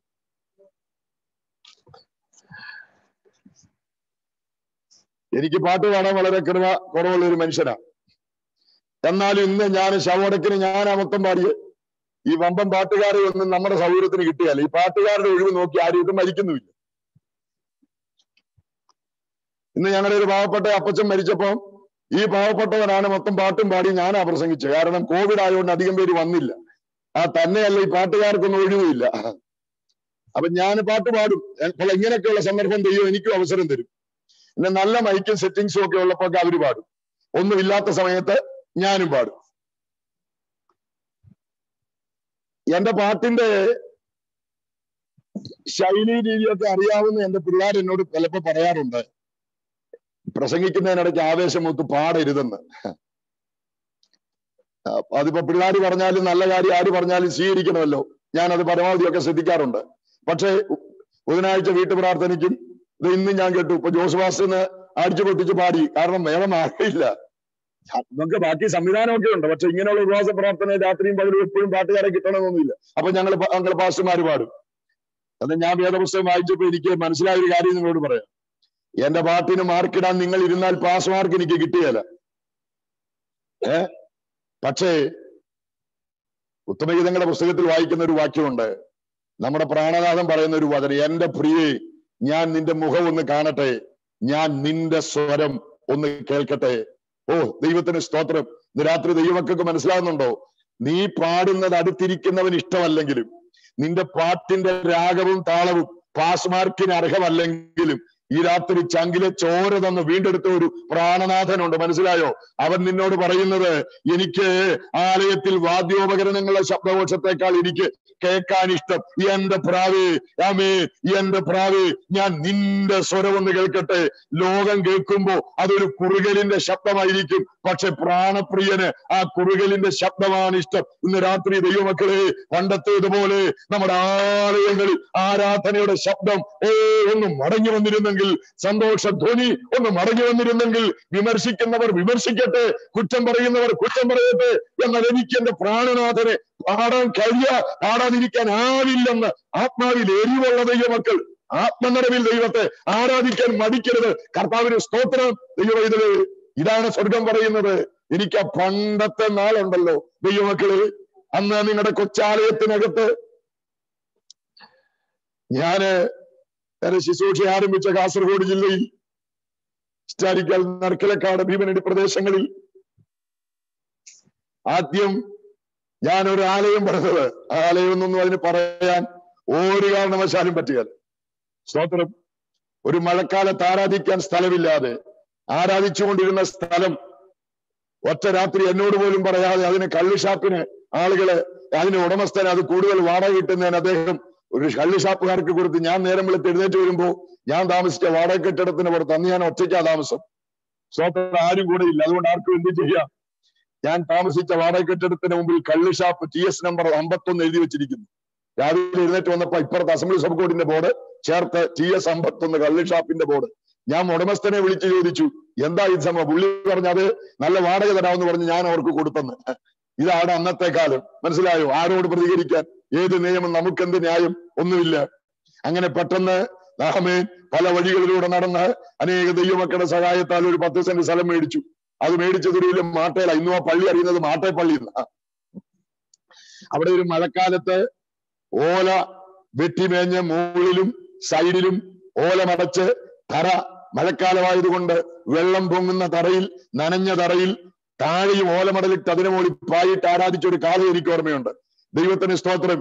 ഇന്ന് നമുക്ക് നല്ല സഭാകാളികളുണ്ട് ശീതീകരിച്ച ആലയങ്ങളുണ്ട്. നല്ല പ്രസംഗ പീഠങ്ങളുണ്ട് പക്ഷെ ഞാൻ ഇന്നും എന്റെ അന്തരാത്മാവിൽ നിന്ന് പറയുന്ന സഹോദരങ്ങളെ അന്ന് ചുരുക്കം ചില പുതിയ വിശ്വാസികളോടുകൂടെ ആ ഓ വെള്ളം ആമേനിച്ചു വരുന്ന ആ തറയിലിരുന്ന് ഓലക്കീറിന്റെ കീഴിലിരുന്ന് ആരാധിച്ച അന്നത്തെ ആരാധനയുടെ മാധുര്യം ഇന്നും എന്റെ ജീവിതത്തിൽ മറക്കാൻ കഴിയാത്തതാണ്. ഇന്ന് രാത്രി ദൈവം പറയുന്നത് ആമൻ. നിങ്ങളുടെ സംവിധാനങ്ങളെക്കാൾ നിങ്ങളുടെ അധരത്തിൽ നിന്നുള്ള സ്തോത്ര സ്വരം കേൾക്കാൻ ദൈവത്തിന് ആഗ്രഹമുണ്ട് ദൈവമേ. പണ്ടത്തേതുപോലെ ഒരാരാധന അനുഭവത്തിലേക്ക് ഞങ്ങളെ ഒന്ന് മടക്കി വരുത്തണമേ. ഞാനത് വിശദീകരിക്കുന്നില്ല. വേഗത്തിൽ ഒന്ന് രണ്ട് വാക്യങ്ങൾ കൂടെ മടക്കിക്കോമേൻ വേഗം നിങ്ങളുടെ ശ്രദ്ധയിൽ കൊണ്ടുവരട്ടെ. അമേൻ മീഖായുടെ പ്രവചനം ഏഴാം അധ്യായം അതിന്റെ പതിനഞ്ചാമത്തെ വാക്യം. മീഖാ പ്രവചനം ഏഴിന്റെ പതിനഞ്ചാം വാക്യം. അവിടെ ദൈവം പ്രാർത്ഥിക്കുന്ന ദൈവഭക്തനോട് പറയുകയാണ്. ഇന്ന് രാത്രി പ്രാർത്ഥനയുടെ അന്തരീക്ഷത്തിൽ ഈ ദിവസങ്ങളിൽ ദൈവമുഖം അന്വേഷിക്കുന്ന ദൈവസഭയോടുള്ള ഒരു പ്രോഫറ്റിക്ക് ദൂരായി ആ വചനം ഞാൻ ദൈവമക്കളുടെ ശ്രദ്ധയിലേക്ക് കൊണ്ടുവരുന്നു. മീഖ ഏഴിന്റെ പതിനഞ്ച്. എന്താണ് ആ വചനം? ദൈവം പറയുകയാണ് നിങ്ങൾ മിശ്രയിമിൽ നിന്ന് പുറപ്പെട്ട കാലത്ത് ആമേൻ നിങ്ങൾ കണ്ട അത്ഭുതങ്ങൾ പോലെ ഞാൻ ഇനിയും നിന്നെ അത്ഭുതങ്ങൾ കാണിക്കും. ഇന്ന് രാത്രി ആ വാക്യത്തിന് വിശ്വാസത്തോടെ ഒരു ആമയും പറയാൻ. ഓ കഴിവുള്ള എത്ര ദൈവമക്കളുണ്ട്. I will show you wonders ഞാൻ നിന്നെ അത്ഭുതങ്ങൾ കാണിക്കും. ആ വാതകം ഒന്നുകൂടെ മുഴുവൻ ശ്രദ്ധിച്ച് എങ്ങനത്തെ അത്ഭുതം എന്നത്തെ അത്ഭുതം? മിശ്രീമിൽ നിന്ന് നിങ്ങൾ പുറപ്പെട്ട പണ്ടത്തെ കാലത്ത് നിങ്ങൾ കണ്ട അത്ഭുതങ്ങൾ ഇനിയും വിശ്വസിക്കുന്നവരെ ഞാൻ കാണിക്കും. ഇന്ന് രാത്രി വിശ്വസിച്ച് പ്രാർത്ഥിക്കുന്ന ദൈവ പൈതലെ ബന്ധക്കോസ്തിന്റെ ചരിത്രം അത്ഭുതങ്ങളുടെ ചരിത്രമാണ്. അടയാളങ്ങളുടെ ചരിത്രമാണ്. രോഗസൗഖ്യങ്ങളുടെ ചരിത്രമാണ്. പൈശാചിക ശക്തികളുടെ മേൽ സഭ ജയമെടുത്ത ചരിത്രമാണ്. പക്ഷെ നിർഭാഗ്യവശാൽ ഇന്ന് അത് ചരിത്ര താളുകളിൽ എഴുതി വെച്ച ഒരു ചരിത്രമായി മാത്രം ഇരിക്കുമ്പോൾ ദൈവത്തിന്റെ ഹൃദയത്തിന്റെ വിങ്ങൽ ദൈവം ലോകത്തോട് പറയുന്നു I will show you wonders ഞാൻ നിന്നെ ഇനിയും അത്ഭുതങ്ങൾ കാണിക്കാം. അന്ന് ചെയ്ത അത്ഭുതങ്ങൾ ഇനിയും ആവർത്തിക്കാൻ കൊതിക്കുന്ന ഒരു ദൈവം ഈ രാത്രി ഞാൻ ദൈവമക്കളോട് പറയുന്നു. പന്തക്കോസ്തിന്റെ ആരംഭ നാളുകളിൽ ദൈവസഭയിൽ വെളിപ്പെട്ട അത്ഭുതങ്ങളിലേക്കും അടയാളങ്ങളിലേക്കും ഈ പ്രവൃത്തികളിലേക്കും ദൈവസഭ ഒന്ന് മടങ്ങി വരേണ്ടിയിരിക്കുന്നു. നമ്മെ അവിടെ മടക്കി വരുത്തണമെന്ന് സ്വർഗത്തിന് ആഗ്രഹമുണ്ട്. ഈ രാത്രി എത്ര ദൈവമക്കൾ ഉള്ളം തുറന്ന് പറയും കർത്താവേ നിർജീവമായ കേവലം ഒരു ചടങ്ങിന്റെ ഒരു കാർമ്മികതയുടെ ആവരണമിട്ട് നിൽക്കുന്ന ഇന്നത്തെ ആത്മീയ ശുശ്രൂഷകൾക്കപ്പുറത്ത് അത്ഭുതങ്ങളും അടയാളങ്ങളും വീര്യപ്രവൃത്തികളും രോഗസൗഖ്യങ്ങളും ദൈവസഭയിൽ പ്രകടമായി വെളിപ്പെടുന്ന പണ്ടത്തെ നാളുകൾ ഒന്ന് ആവർത്തിച്ചിരുന്നെങ്കിൽ. ഹാലൂയ ഒന്നും നടക്കുന്നില്ലെന്ന് ഞാൻ പറയുന്നില്ല. ഇന്നും ദൈവം തന്റെ ജനത്തിലൂടെ തന്റെ ദാസന്മാരിലൂടെ വലിയ കാര്യങ്ങൾ ചെയ്യുന്നുണ്ട്. പക്ഷെ പോര പ്രിയരെ നമ്മൾ അപ്പോസ്റ്റൽ പ്രവൃത്തികളുടെ പുസ്തകം വായിക്കുമ്പോൾ എന്താ നമ്മൾ കാണുന്നത്? സഭ അനേകർ അവരോട് ചേർന്ന് വന്നു അല്ലേ എന്താ കാര്യം? അപ്പോസ്തലന്മാരുടെ കൈയാൽ നടന്ന അടയാളങ്ങളും അത്ഭുതങ്ങളും. ഞാൻ ഈ വാക്യം വായിക്കുമ്പോഴൊക്കെ ഈ വചനം വായിക്കുമ്പോഴൊക്കെ എന്റെ ഹൃദയത്തിൽ കൊതിക്കുന്നു എന്റെ ജീവിതത്തിൽ ഞാൻ ആഗ്രഹിക്കുന്നു ദൈവമേ പണ്ടത്തെ പോലെ അത്ഭുതങ്ങളുടെ നാളുകളൊന്നും മടങ്ങി വന്നിരുന്നെങ്കിൽ വ്യാജമായ സകല അടയാളങ്ങളോടും അത്ഭുതങ്ങളോടും കൂടെ വ്രതന്മാരെ പോലും തെറ്റിക്കാൻ പിശാജ് അവന്റെ ആവനാഴിയിൽ അവസാനത്തെ അമ്പുമെടുത്ത് പ്രയോഗിച്ചുകൊണ്ടിരിക്കുന്ന ഈ അന്ത്യനാളുകളിൽ ദൈവസഭ അതിന്റെ പ്രതാപത്തിലേക്ക് മടങ്ങി വരണം. ഡ്യൂപ്ലിക്കറ്റ് ആത്മീയതയെ കൊണ്ട് ദൈവപ്രവൃത്തിയെ തടയാൻ എതിരാളിയായ തന്നെത്താൻ ദൈവമെന്ന് ഉയർത്തുന്ന എതിരാളി അവന്റെ തന്ത്രങ്ങൾ പയറ്റുമ്പോൾ ദൈവമക്കൾ സഭ ഉപവസിക്കുന്ന സഭ പ്രാർത്ഥിക്കുന്ന സഭ ദൈവത്തെ കാത്തിരിക്കുന്ന സഭ ദൈവമഹത്വം പ്രതീക്ഷിക്കുന്ന സഭ ഈ നാളുകളിൽ ദൈവത്തിന്റെ അത്ഭുതങ്ങൾ വെളിപ്പെടുത്തേണ്ട സഭ നാളുകളാണ്. ദൈവമേ ഞങ്ങളെ ആ പണ്ടത്തെ അത്ഭുതങ്ങളിലേക്ക് അടയാളങ്ങളിലേക്ക് ഒന്ന് മടക്കി വരുത്തണമേ. പ്രാർത്ഥിക്കാൻ മനസ്സുണ്ടോ? അത് പ്രതീക്ഷിക്കാമോ ദൈവമക്കളെ? തിയോളജി പഠിക്കുമ്പോൾ ഒരു തിയോളജി ശാഖ തന്നെയുണ്ട്. ഡെഡ് ഓഫ് ഗോഡ് തിയോളജി എന്നാണ് പറയുന്നത്. ദൈവം മരിച്ചു എന്ന വേദശാസ്ത്രം. നമുക്ക് കേൾക്കുന്ന വിരോധാഭാസമായി തോന്നാം. പക്ഷെ അതൊരു വലിയ വേദശാസ്ത്ര ചിന്തയാണ്. ആധുനിക വേദശാസ്ത്രികളിൽ ഒരു കൂട്ടം ആളുകൾ കഴിഞ്ഞ നൂറ്റാണ്ട് മുതൽ പഠിപ്പിക്കുന്ന ഒരു ചിന്ത. ദൈവം മരിച്ചു. ഡെഡ് ഓഫ് ഗോഡ് തിയോളജി എന്താ അവരുടെ ഉപദേശം? പണ്ട് ദൈവം പ്രവർത്തിച്ചു. ഒന്നാം നൂറ്റാണ്ടിൽ ദൈവം അത്ഭുതം ചെയ്തു. അപ്പോ അപ്പോസ്തലന്മാരെ ഉപയോഗിച്ചു. അത്ഭുതങ്ങൾ നടന്നു. അടയാളങ്ങൾ നടന്നു. പക്ഷെ ഇപ്പം ദൈവം ഇല്ല. ദൈവം അതൊന്നും ചെയ്യുന്നില്ല. ദൈവം മരിച്ചു. ഇപ്പൊ ദൈവം പ്രവൃത്തിയിൽ നിന്ന് എല്ലാം വിരമിച്ച് റിട്ടയർമെന്റിലാണ് ദൈവം. അതുകൊണ്ട് പണ്ടൊക്കെ ചെയ്തത് ശരിയാ. ഇപ്പൊ ഒന്നും നടക്കത്തില്ല. ഇതാണ് അവരുടെ ചിന്ത. അങ്ങനെ ചിന്തിക്കുന്ന ഒരു വലിയ കൂട്ടം ആളുകൾ ക്രൈസ്തവ മണ്ഡലത്തിലുണ്ട്. പക്ഷെ ഇന്ന് രാത്രി നമ്മുടെ വിശ്വാസം അതല്ല. യേശു പറഞ്ഞു എന്റെ പിതാവ് ഇന്ന് വരെ പ്രവർത്തിക്കുന്നു. ഞാനും പ്രവർത്തിക്കുന്നു. ഇന്ന് രാത്രി ആർക്കും എതിർക്കാൻ കഴിയാത്ത പരാക്രമമുള്ള ആർക്കും മടക്കാൻ കഴിയാത്ത ബലമുള്ള ഭുജമുള്ള ആർക്കും നിർവീര്യമാക്കാൻ കഴിയാത്ത നിർണയങ്ങളുള്ള ആർക്കും മടക്കാനാകാത്ത ബലമുള്ള ഭുജമുള്ള ഒരു ദൈവത്തെയാണ് ഞാൻ നീയും സേവിക്കുന്നത്. അതുകൊണ്ട് നമ്മുടെ ദൈവം ജീവിക്കുന്നു എന്ന് തെളിയിക്കേണ്ട ഉത്തരവാദിത്വം നമുക്കുള്ളതിനേക്കാൾ നമ്മുടെ ദൈവത്തിനുണ്ട്. നിങ്ങൾ അപ്പോസ്റ്റൽ പ്രവൃത്തികളുടെ പുസ്തകം. ഒന്നാം അധ്യായം. ഒന്നാം അധ്യായം. അതിന്റെ ഏർ മൂന്നാം വാക്യം ഒന്ന് വായിച്ചു നോക്കി അപ്പോസ്റ്റൽ പ്രവൃത്തി ഒന്നിന്റെ മൂന്ന്. താൻ ജീവിച്ചിരിക്കുന്നു എന്ന് അനേകം ദൃഷ്ടാന്തങ്ങളാൽ അവർക്ക് കാണിച്ചു കൊടുത്തു. ആര് കാണിച്ചു കൊടുത്തു? എന്റെ കർത്താവ് ജീവിച്ചിരിക്കുന്നു എന്ന് ഇന്ന് തെളിയിക്കാൻ ഞാൻ ബന്ധപ്പെടേണ്ടതില്ല. ഞാനൊരു ചാനലായി ഒരു മുഖാന്തരമായി നിന്നാ മതി. എന്റെ കർത്താവ് ജീവിക്കുന്നെന്ന് തെളിയിക്കാൻ ജീവനുള്ള കർത്താവിന് കഴിയും. ആ വചനം നിങ്ങൾ ശ്രദ്ധിച്ചോ? താൻ ജീവിച്ചിരിക്കുന്നു എന്ന് അനേകം ദൃഷ്ടാന്തങ്ങളാൽ കർത്താവ് തെളിയിച്ചു കൊടുത്തെന്ന് അതാ ഇന്നും ദൈവം ചെയ്യാൻ ആഗ്രഹിക്കുന്നത്. അതാണ് മീഖ ഏഴിന്റെ പതിനഞ്ചിൽ വായിച്ചത്. ഞാൻ ഇനിയും നിന്നെ അത് കാണിക്കാം. ഞാൻ ആരാണെന്ന്? ഞാൻ സൗഖ്യമാക്കുന്ന ദൈവമാണെന്ന് ഞാൻ വിടുവിക്കുന്ന ദൈവമാണെന്ന് ഞാൻ പൈശാചിക ശക്തികളുടെ മേൽ ആധിപത്യം അധികാരമുള്ള ദൈവമാണെന്ന് ആമേൻ. വിശ്വസിക്കുന്നവരുടെ പ്രാർത്ഥനയ്ക്ക് മധ്യേ ഇറങ്ങി വരുന്ന അത്ഭുതങ്ങളുടെ ദൈവമാണെന്ന് ഐ വിൽ ഷോ യു ഞാൻ നിന്നെ അത് കാണിക്കാം എന്നാണ് മീഖയോട് ദൈവം പറഞ്ഞത്. അത് കാണാൻ കൊതിക്കുന്നത്ര ദൈവമക്കളുണ്ട്. നിങ്ങൾ ദൈവത്തോട് പ്രാർത്ഥിക്കണം. കർത്താവെ അഭിഷിക്തന്മാരായ ദൈവദാസന്മാർ സഭയുടെ പ്രസംഗപുരത്തിൽ നിൽക്കുമ്പോൾ ദൈവത്തിന് ദൂത് അറിയിക്കുമ്പോൾ വചനം അവർ വിളിച്ചു പറയുമ്പോൾ ജീവിപ്പിക്കുന്ന വചനം ദൈവജനത്തിന് മധ്യേ മുഴങ്ങുമ്പോൾ അത്ഭുത സൗഖ്യം ഉണ്ടാകട്ടെ അത്ഭുത വിടുതലുകൾ ഉണ്ടാകട്ടെ. യേശുവിന്റെ നാമത്തിൽ അതായിരുന്നു പണ്ടത്തെ ദൈവസഭ. അതാണ് ദൈവജനത്തിന്റെ ഇടയിൽ പണ്ട് സംഭവിച്ചത്. അതിലേക്കാണ് നാം മടങ്ങി വരേണ്ടത്. അതെ. ന്യായാധിപന്മാരുടെ പുസ്തകം ആറിന്റെ പതിമൂന്ന് പതിനാല് വാക്യങ്ങൾ. ദൈവം ഇത് കാണിക്കും. ആരെയാ കാണിക്കുന്നറിയാവോ ഗിതയോൻ എന്ന മനുഷ്യൻ വിദ്യാലയം അവന്റെ സമ്പാദ്യവും കൃഷിയെല്ലാം അപകരിച്ചുകൊണ്ട് പോയി. ആ കാലത്ത് എല്ലാ ആളുകളും വീട്ടിനകത്ത് ഒളിച്ചു. അല്ലെങ്കിൽ കുറെ പേര് കൃഷി നിർത്തി കുറെ പേര് കൊയ്യുന്നില്ല കുറെ പേർക്ക് കൊയ്യാൻ കിട്ടിയില്ല. ഒത്തിരി പരാതികളും പരിമിതികളും പഴുതുകളും പറയാൻ ആളുകൾക്കുള്ള കാലം. ഗിതയോൻ മുന്തിരിച്ചക്കിനരികെ വെച്ച് ഗോതമ്പ് പതിച്ചുകൊണ്ടിരിക്കുക മുന്തിരിച്ചക്കിന്റെ സമയമല്ല. അതുകൊണ്ട് മുന്തിരിയുടെ ഫലം എടുക്കാൻ ഉള്ള സമയമല്ലാത്തതുകൊണ്ട് അങ്ങോട്ട് ഫലിസ്ത ഇവർ ആ കടന്നു വരേണ്ട കാര്യമില്ല വിദ്യാന്യര്. അതുകൊണ്ട് അവൻ മുന്തിരിച്ചക്കൻ അരികെ വെച്ച് മതിച്ചോടി ഉടനെ യഹോവയുടെ ദൂതൻ അവർ പ്രത്യക്ഷനായി അവനോട് പറഞ്ഞു പരാക്രമശാലി യഹോവ നിന്നോട് കൂടെ ഉണ്ട് ഉടനെ ആ ചെറുപ്പക്കാരുടെ ചോദ്യം കേട്ടു. അവൻ ചോദിക്കുകയാണ് യജമാനനെ യഹോവ നമ്മോട് കൂടെ ഉണ്ടെങ്കിൽ നമുക്ക് ഈ സംഭവിക്കുന്നതൊക്കെ എന്ത്? ജീവനുള്ള ഒരു ദൈവത്തെ സേവിക്കുന്നതിന് അപ്പം പറഞ്ഞു കേട്ടിട്ടുണ്ട്. പക്ഷെ ഒരു വ്യത്യാസവും കണ്ടിട്ടില്ല. അത്ഭുതം ചെയ്ത ഒരു ദൈവത്തെ കുറിച്ച് ഞാൻ പിതാക്കന്മാരുടെ ചരിത്രത്തിൽ വായിച്ചു. പക്ഷെ എന്റെ കണ്ണുകൊണ്ട് ഇന്ന് വരെ ഒരത്ഭുതവും കണ്ടില്ല. ഇതാ ഇന്ന് ഞങ്ങൾ അപമാനത്തിലാണ് നിന്ദയിലാണ് ഭീതിയിലാണ്. ഓ ജീവിതത്തിൽ ഒരു നന്മ അനുഭവിക്കാൻ കഴിയാത്തവരാണ്. ഉടനെ നമ്മൾ വായിക്കുന്ന യഹോവ അവനെ നോക്കി. യഹോവ അവനെ നോക്കി. എന്താ കാര്യം എന്നറിയാവോ ഒരുപാട് പേര് കുറ്റം പറഞ്ഞവരെ ദൈവം കണ്ടിട്ടുണ്ട്. ആമീൻ. ദൈവത്തെ ശപിച്ചവരെ ദൈവം കണ്ടിട്ടുണ്ട്. ഈ ദൈവത്തോട് പ്രാർത്ഥിച്ചിട്ട് എന്തോ ഗുണമുണ്ടായി.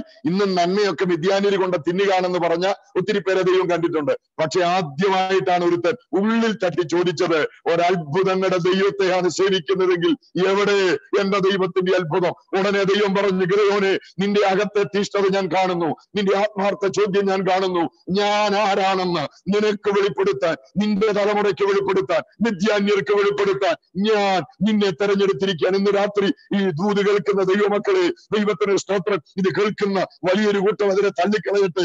ഒരൊറ്റ ഒരാളെങ്കിലും ദൈവമേ ആ അത്ഭുതങ്ങളുടെ ദൈവത്തെ എന്റെ തലമുറയിൽ എന്റെ ശുശ്രൂഷയിൽ എന്റെ ജീവിതത്തിൽ എനിക്കൊന്ന് വെളിപ്പെടുത്താൻ ആഗ്രഹമുണ്ട്. എനിക്കൊന്ന് കാണാൻ ആഗ്രഹമുണ്ട്. ഈ നിന്ന മാറിക്കാണ് ഈ ലജ്ജ മാറിക്കാണ് ഈ പരാജയം നീങ്ങിക്കാണ് എനിക്ക് ആഗ്രഹമുണ്ട്. എന്നെ ഒന്ന് മടക്കി വരുത്തണമേ എന്ന് നീ പറയുമെങ്കിൽ ഓ ദൈവം നിന്നെയാണ് ഇന്ന് രാത്രി തന്റെ പദ്ധതിക്ക് വേണ്ടി ഉപയോഗിക്കുന്നത്. ആ ഗൃതയോനെ കൊണ്ട് ദൈവം തെളിയിച്ചു. അവന്റെ ദൈവം ജീവിക്കുന്ന ദൈവമാണെന്ന്. ഇതാണ് ദൈവത്തിന് ആവശ്യം. അവന്റെ അത്ഭുതം എവിടെയെന്ന് നീ ചോദിച്ചില്ലേ?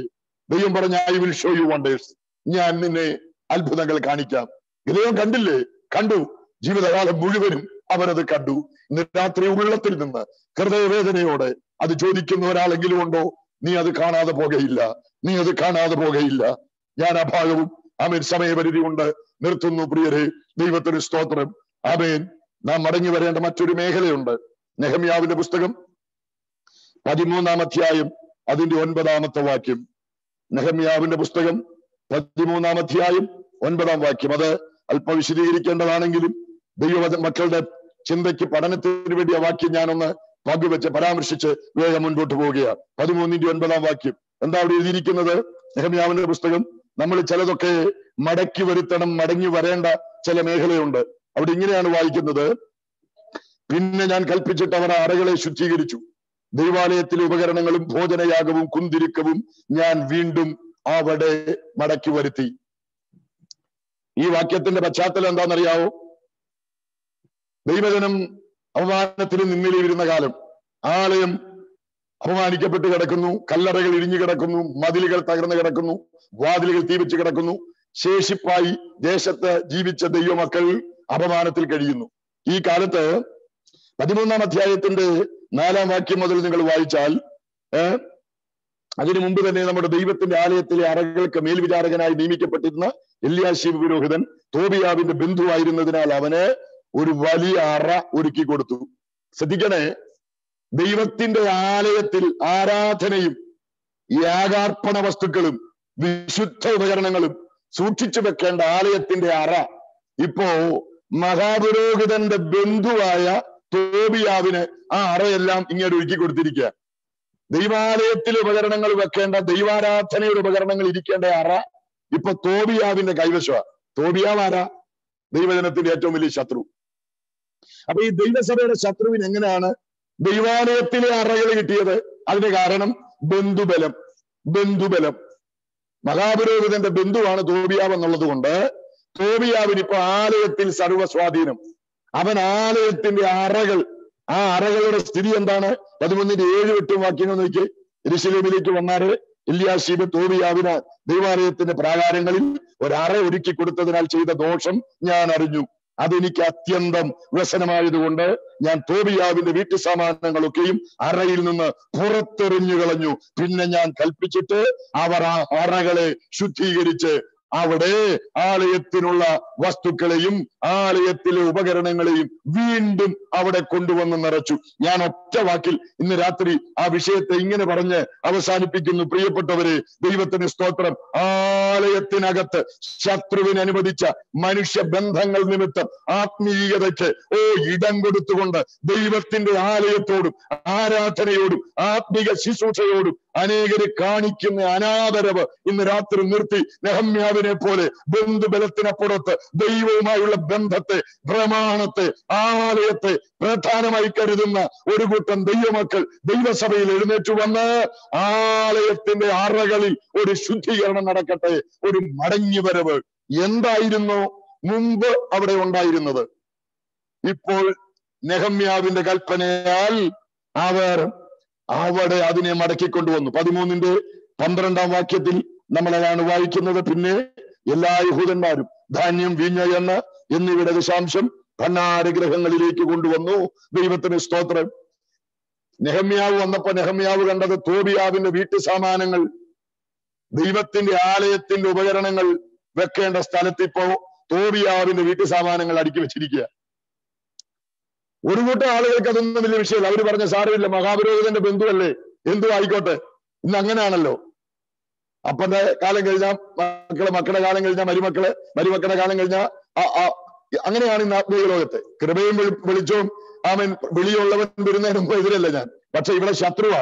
ഇവൻ ആത്മീയമായിട്ടൊരു ബന്ധവുമില്ല. ഇപ്പോൾ അവൻ ആലയത്തിനകത്തെ പ്രധാന ആറ ഇന്നത്തെ പ്രശ്നം.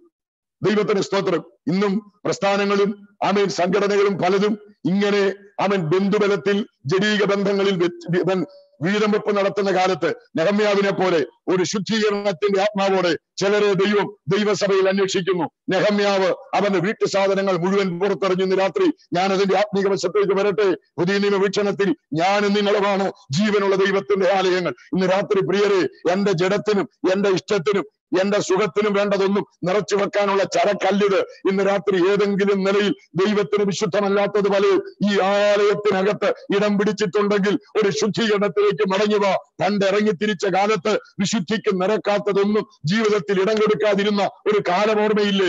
ഇന്ന് ആ സ്ഥാനങ്ങൾ പലതും പല അറകളും ഇന്ന് അവൻ നമ്മുടെ ജഡവും നമ്മുടെ സ്വയവും നമ്മുടെ സ്ഥാനമോഹവും നമ്മുടെ ഭൗതിക ചിന്തകളും നമ്മുടെ ദ്രവ്യാഗ്രഹവും പിടിച്ചടക്കിയിരിക്കുന്നെങ്കിൽ ഈ രാത്രി വചനം കേൾക്കുമ്പോ ദൈവത്തോട് പറ കർത്താവ് തോബിയാവിന് വിട്ട് സമാനങ്ങൾ പുറത്തെറിഞ്ഞതുപോലെ ഈ രാത്രി ദൈവത്തിന് ഹിതമല്ലാത്ത വിശുദ്ധമല്ലാത്തതിനെ എല്ലാം ജീവിതത്തിൽ നിന്ന് പുറത്തെറിഞ്ഞിട്ട് പണ്ടത്തേതുപോലെ ആരാധന മടങ്ങി വരട്ടെ പ്രാർത്ഥന മടങ്ങി വരട്ടെ വിശുദ്ധ ജീവിതം മടങ്ങി വരട്ടെ പ്രമാണത്തോടുള്ള സ്നേഹം മടങ്ങി വരട്ടെ വചനത്തോടുള്ള ആർത്തി മടങ്ങി വരട്ടെ യേശുവിന്റെ നാമത്തിൽ നമുക്കൊരു മടങ്ങി വരവ് വേണം പ്രിയരെ.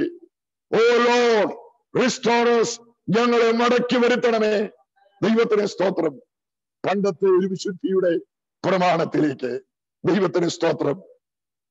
സമയം തീരുന്നത് കൊണ്ട് ഞാൻ വേഗം എന്റെ വാക്കുകൾ ഇവിടെ അവസാനിപ്പിക്കുന്നു. രണ്ട് വാക്യങ്ങൾ. ഒരുമിയ പ്രവചനം മുപ്പതിന്റെ പതിനേഴ്.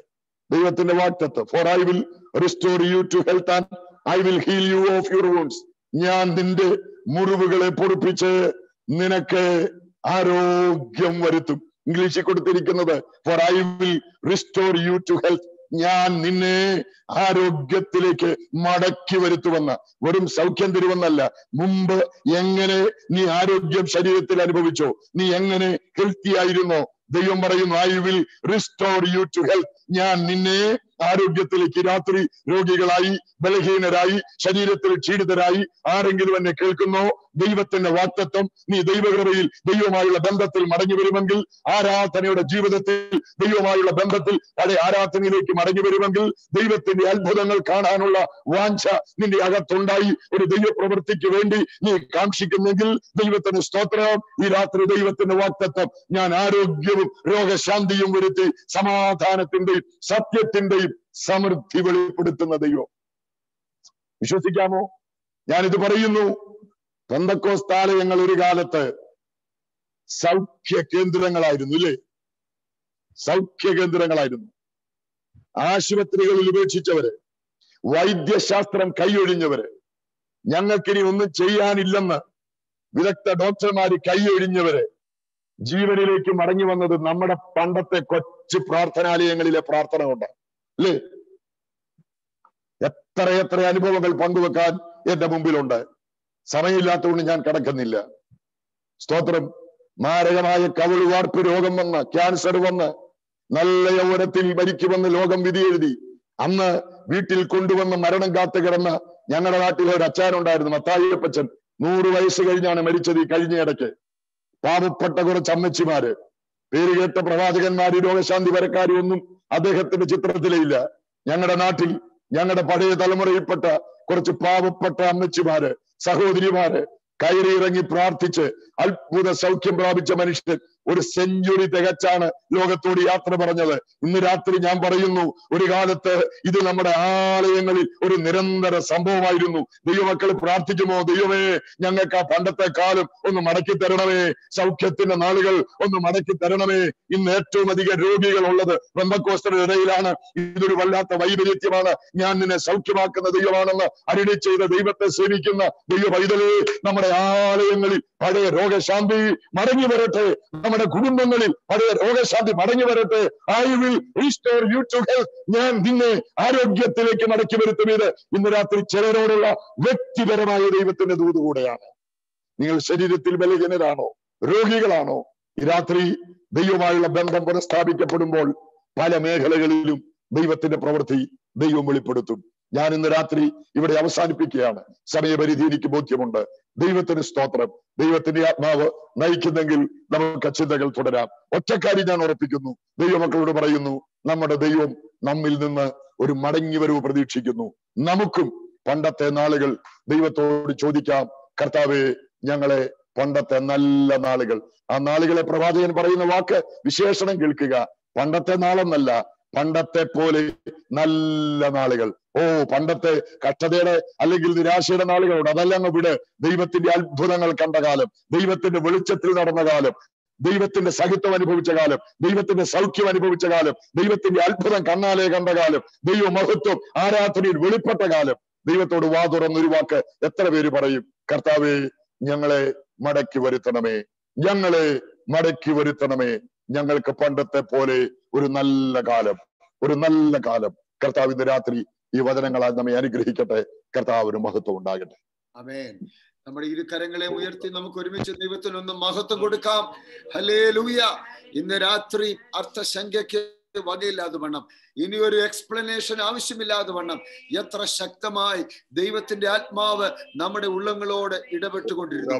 നമ്മുടെ ഇരു കരങ്ങളെയും കഴിയുമെങ്കിൽ ദൈവസന്നിധിയിൽ ഒന്ന് ഉയർത്തിപ്പിടിച്ചാട്ട്. നിങ്ങളുടെ ഭവനങ്ങളിലാണ് അമ്മ കണ്ണുകളെ അടച്ച് ദൈവമേ ദൈവത്തെങ്കിലേക്ക് ഞാൻ മടങ്ങി വരുന്നു എന്ന് നമുക്ക് ഒരുമിച്ചൊന്ന് ദൈവത്തോട് പ്രാർത്ഥിക്കാം.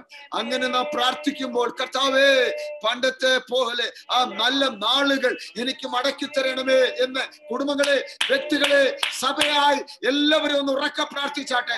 നിങ്ങൾക്ക് അൺമ്യൂട്ട് ചെയ്യാൻ കഴിയുമെങ്കിൽ നിങ്ങൾ അൺമ്യൂട്ട് ചെയ്തിട്ട് എല്ലാവരും ഒന്ന് ഉറക്ക പ്രാർത്ഥിക്കുക നിങ്ങളുടെ ശബ്ദം നിങ്ങളുടെ ശബ്ദം ഒന്ന് ഉയരട്ടെ. ഇന്ന് രാത്രി വാഴ്ചകളിൽ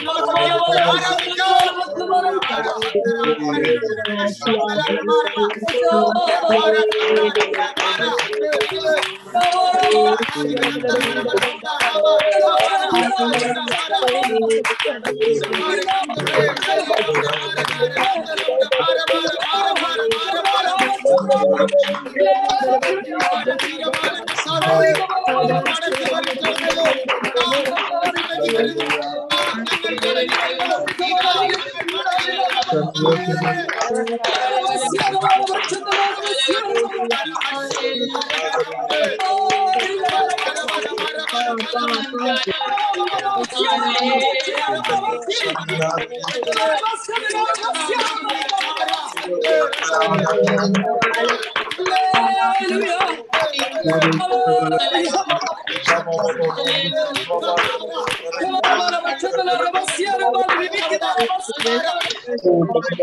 ഓ